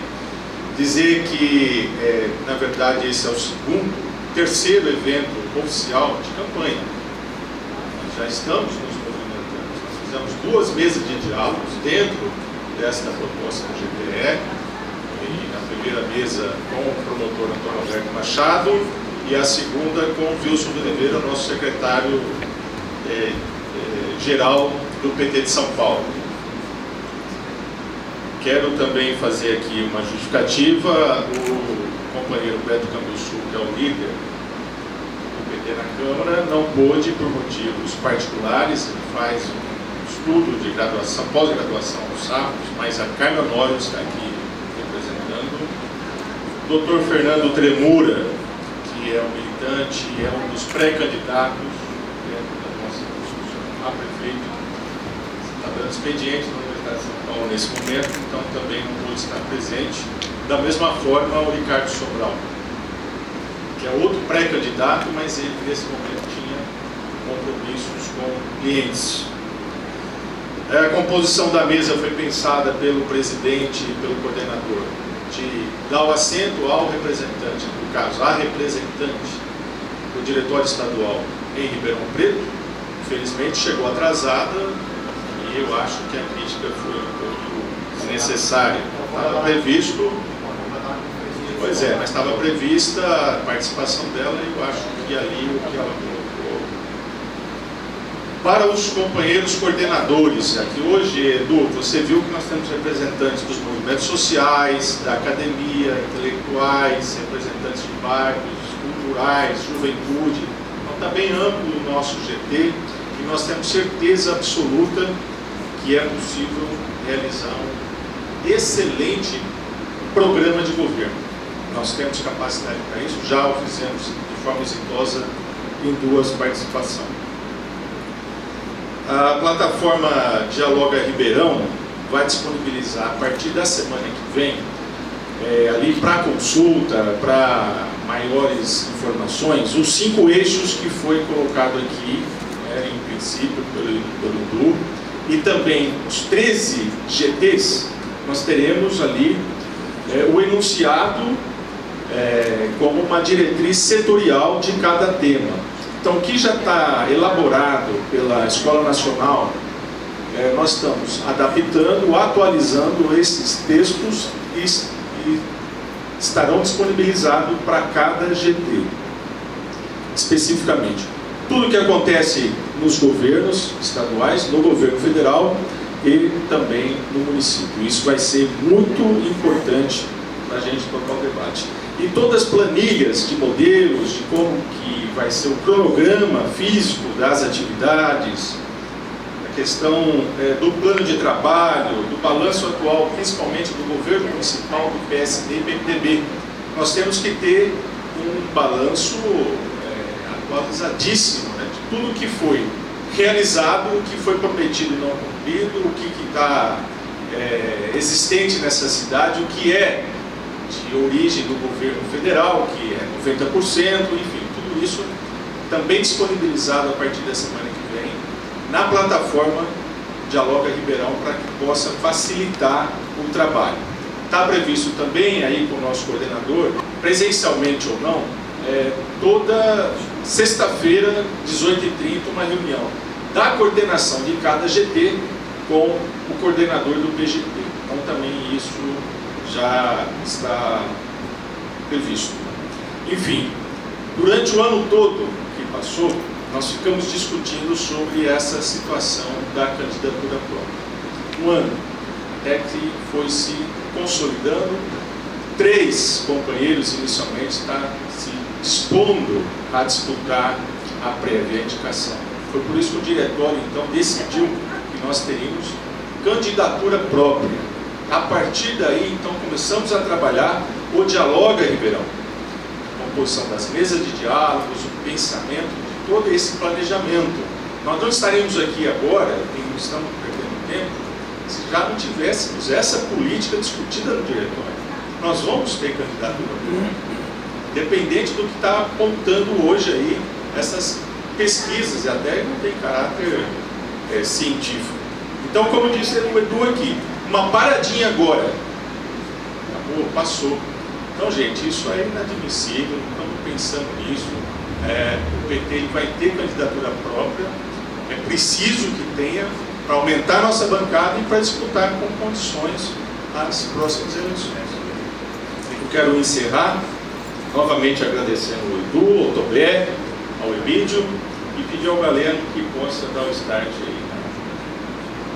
Então a gente combinou é, de, em vez disso, a gente passar é, da mesma maneira que começou a nossa oficina, ah, com outro vídeo, esse muito menor, de um minuto e pouquinho só, ah, onde, enquanto coordenador do PGP é feita uma conclamação aos militantes, simpatizantes, população em geral, internautas, para que participem desse processo. Aqui, é, fisicamente e também nas formas digitais e virtuais.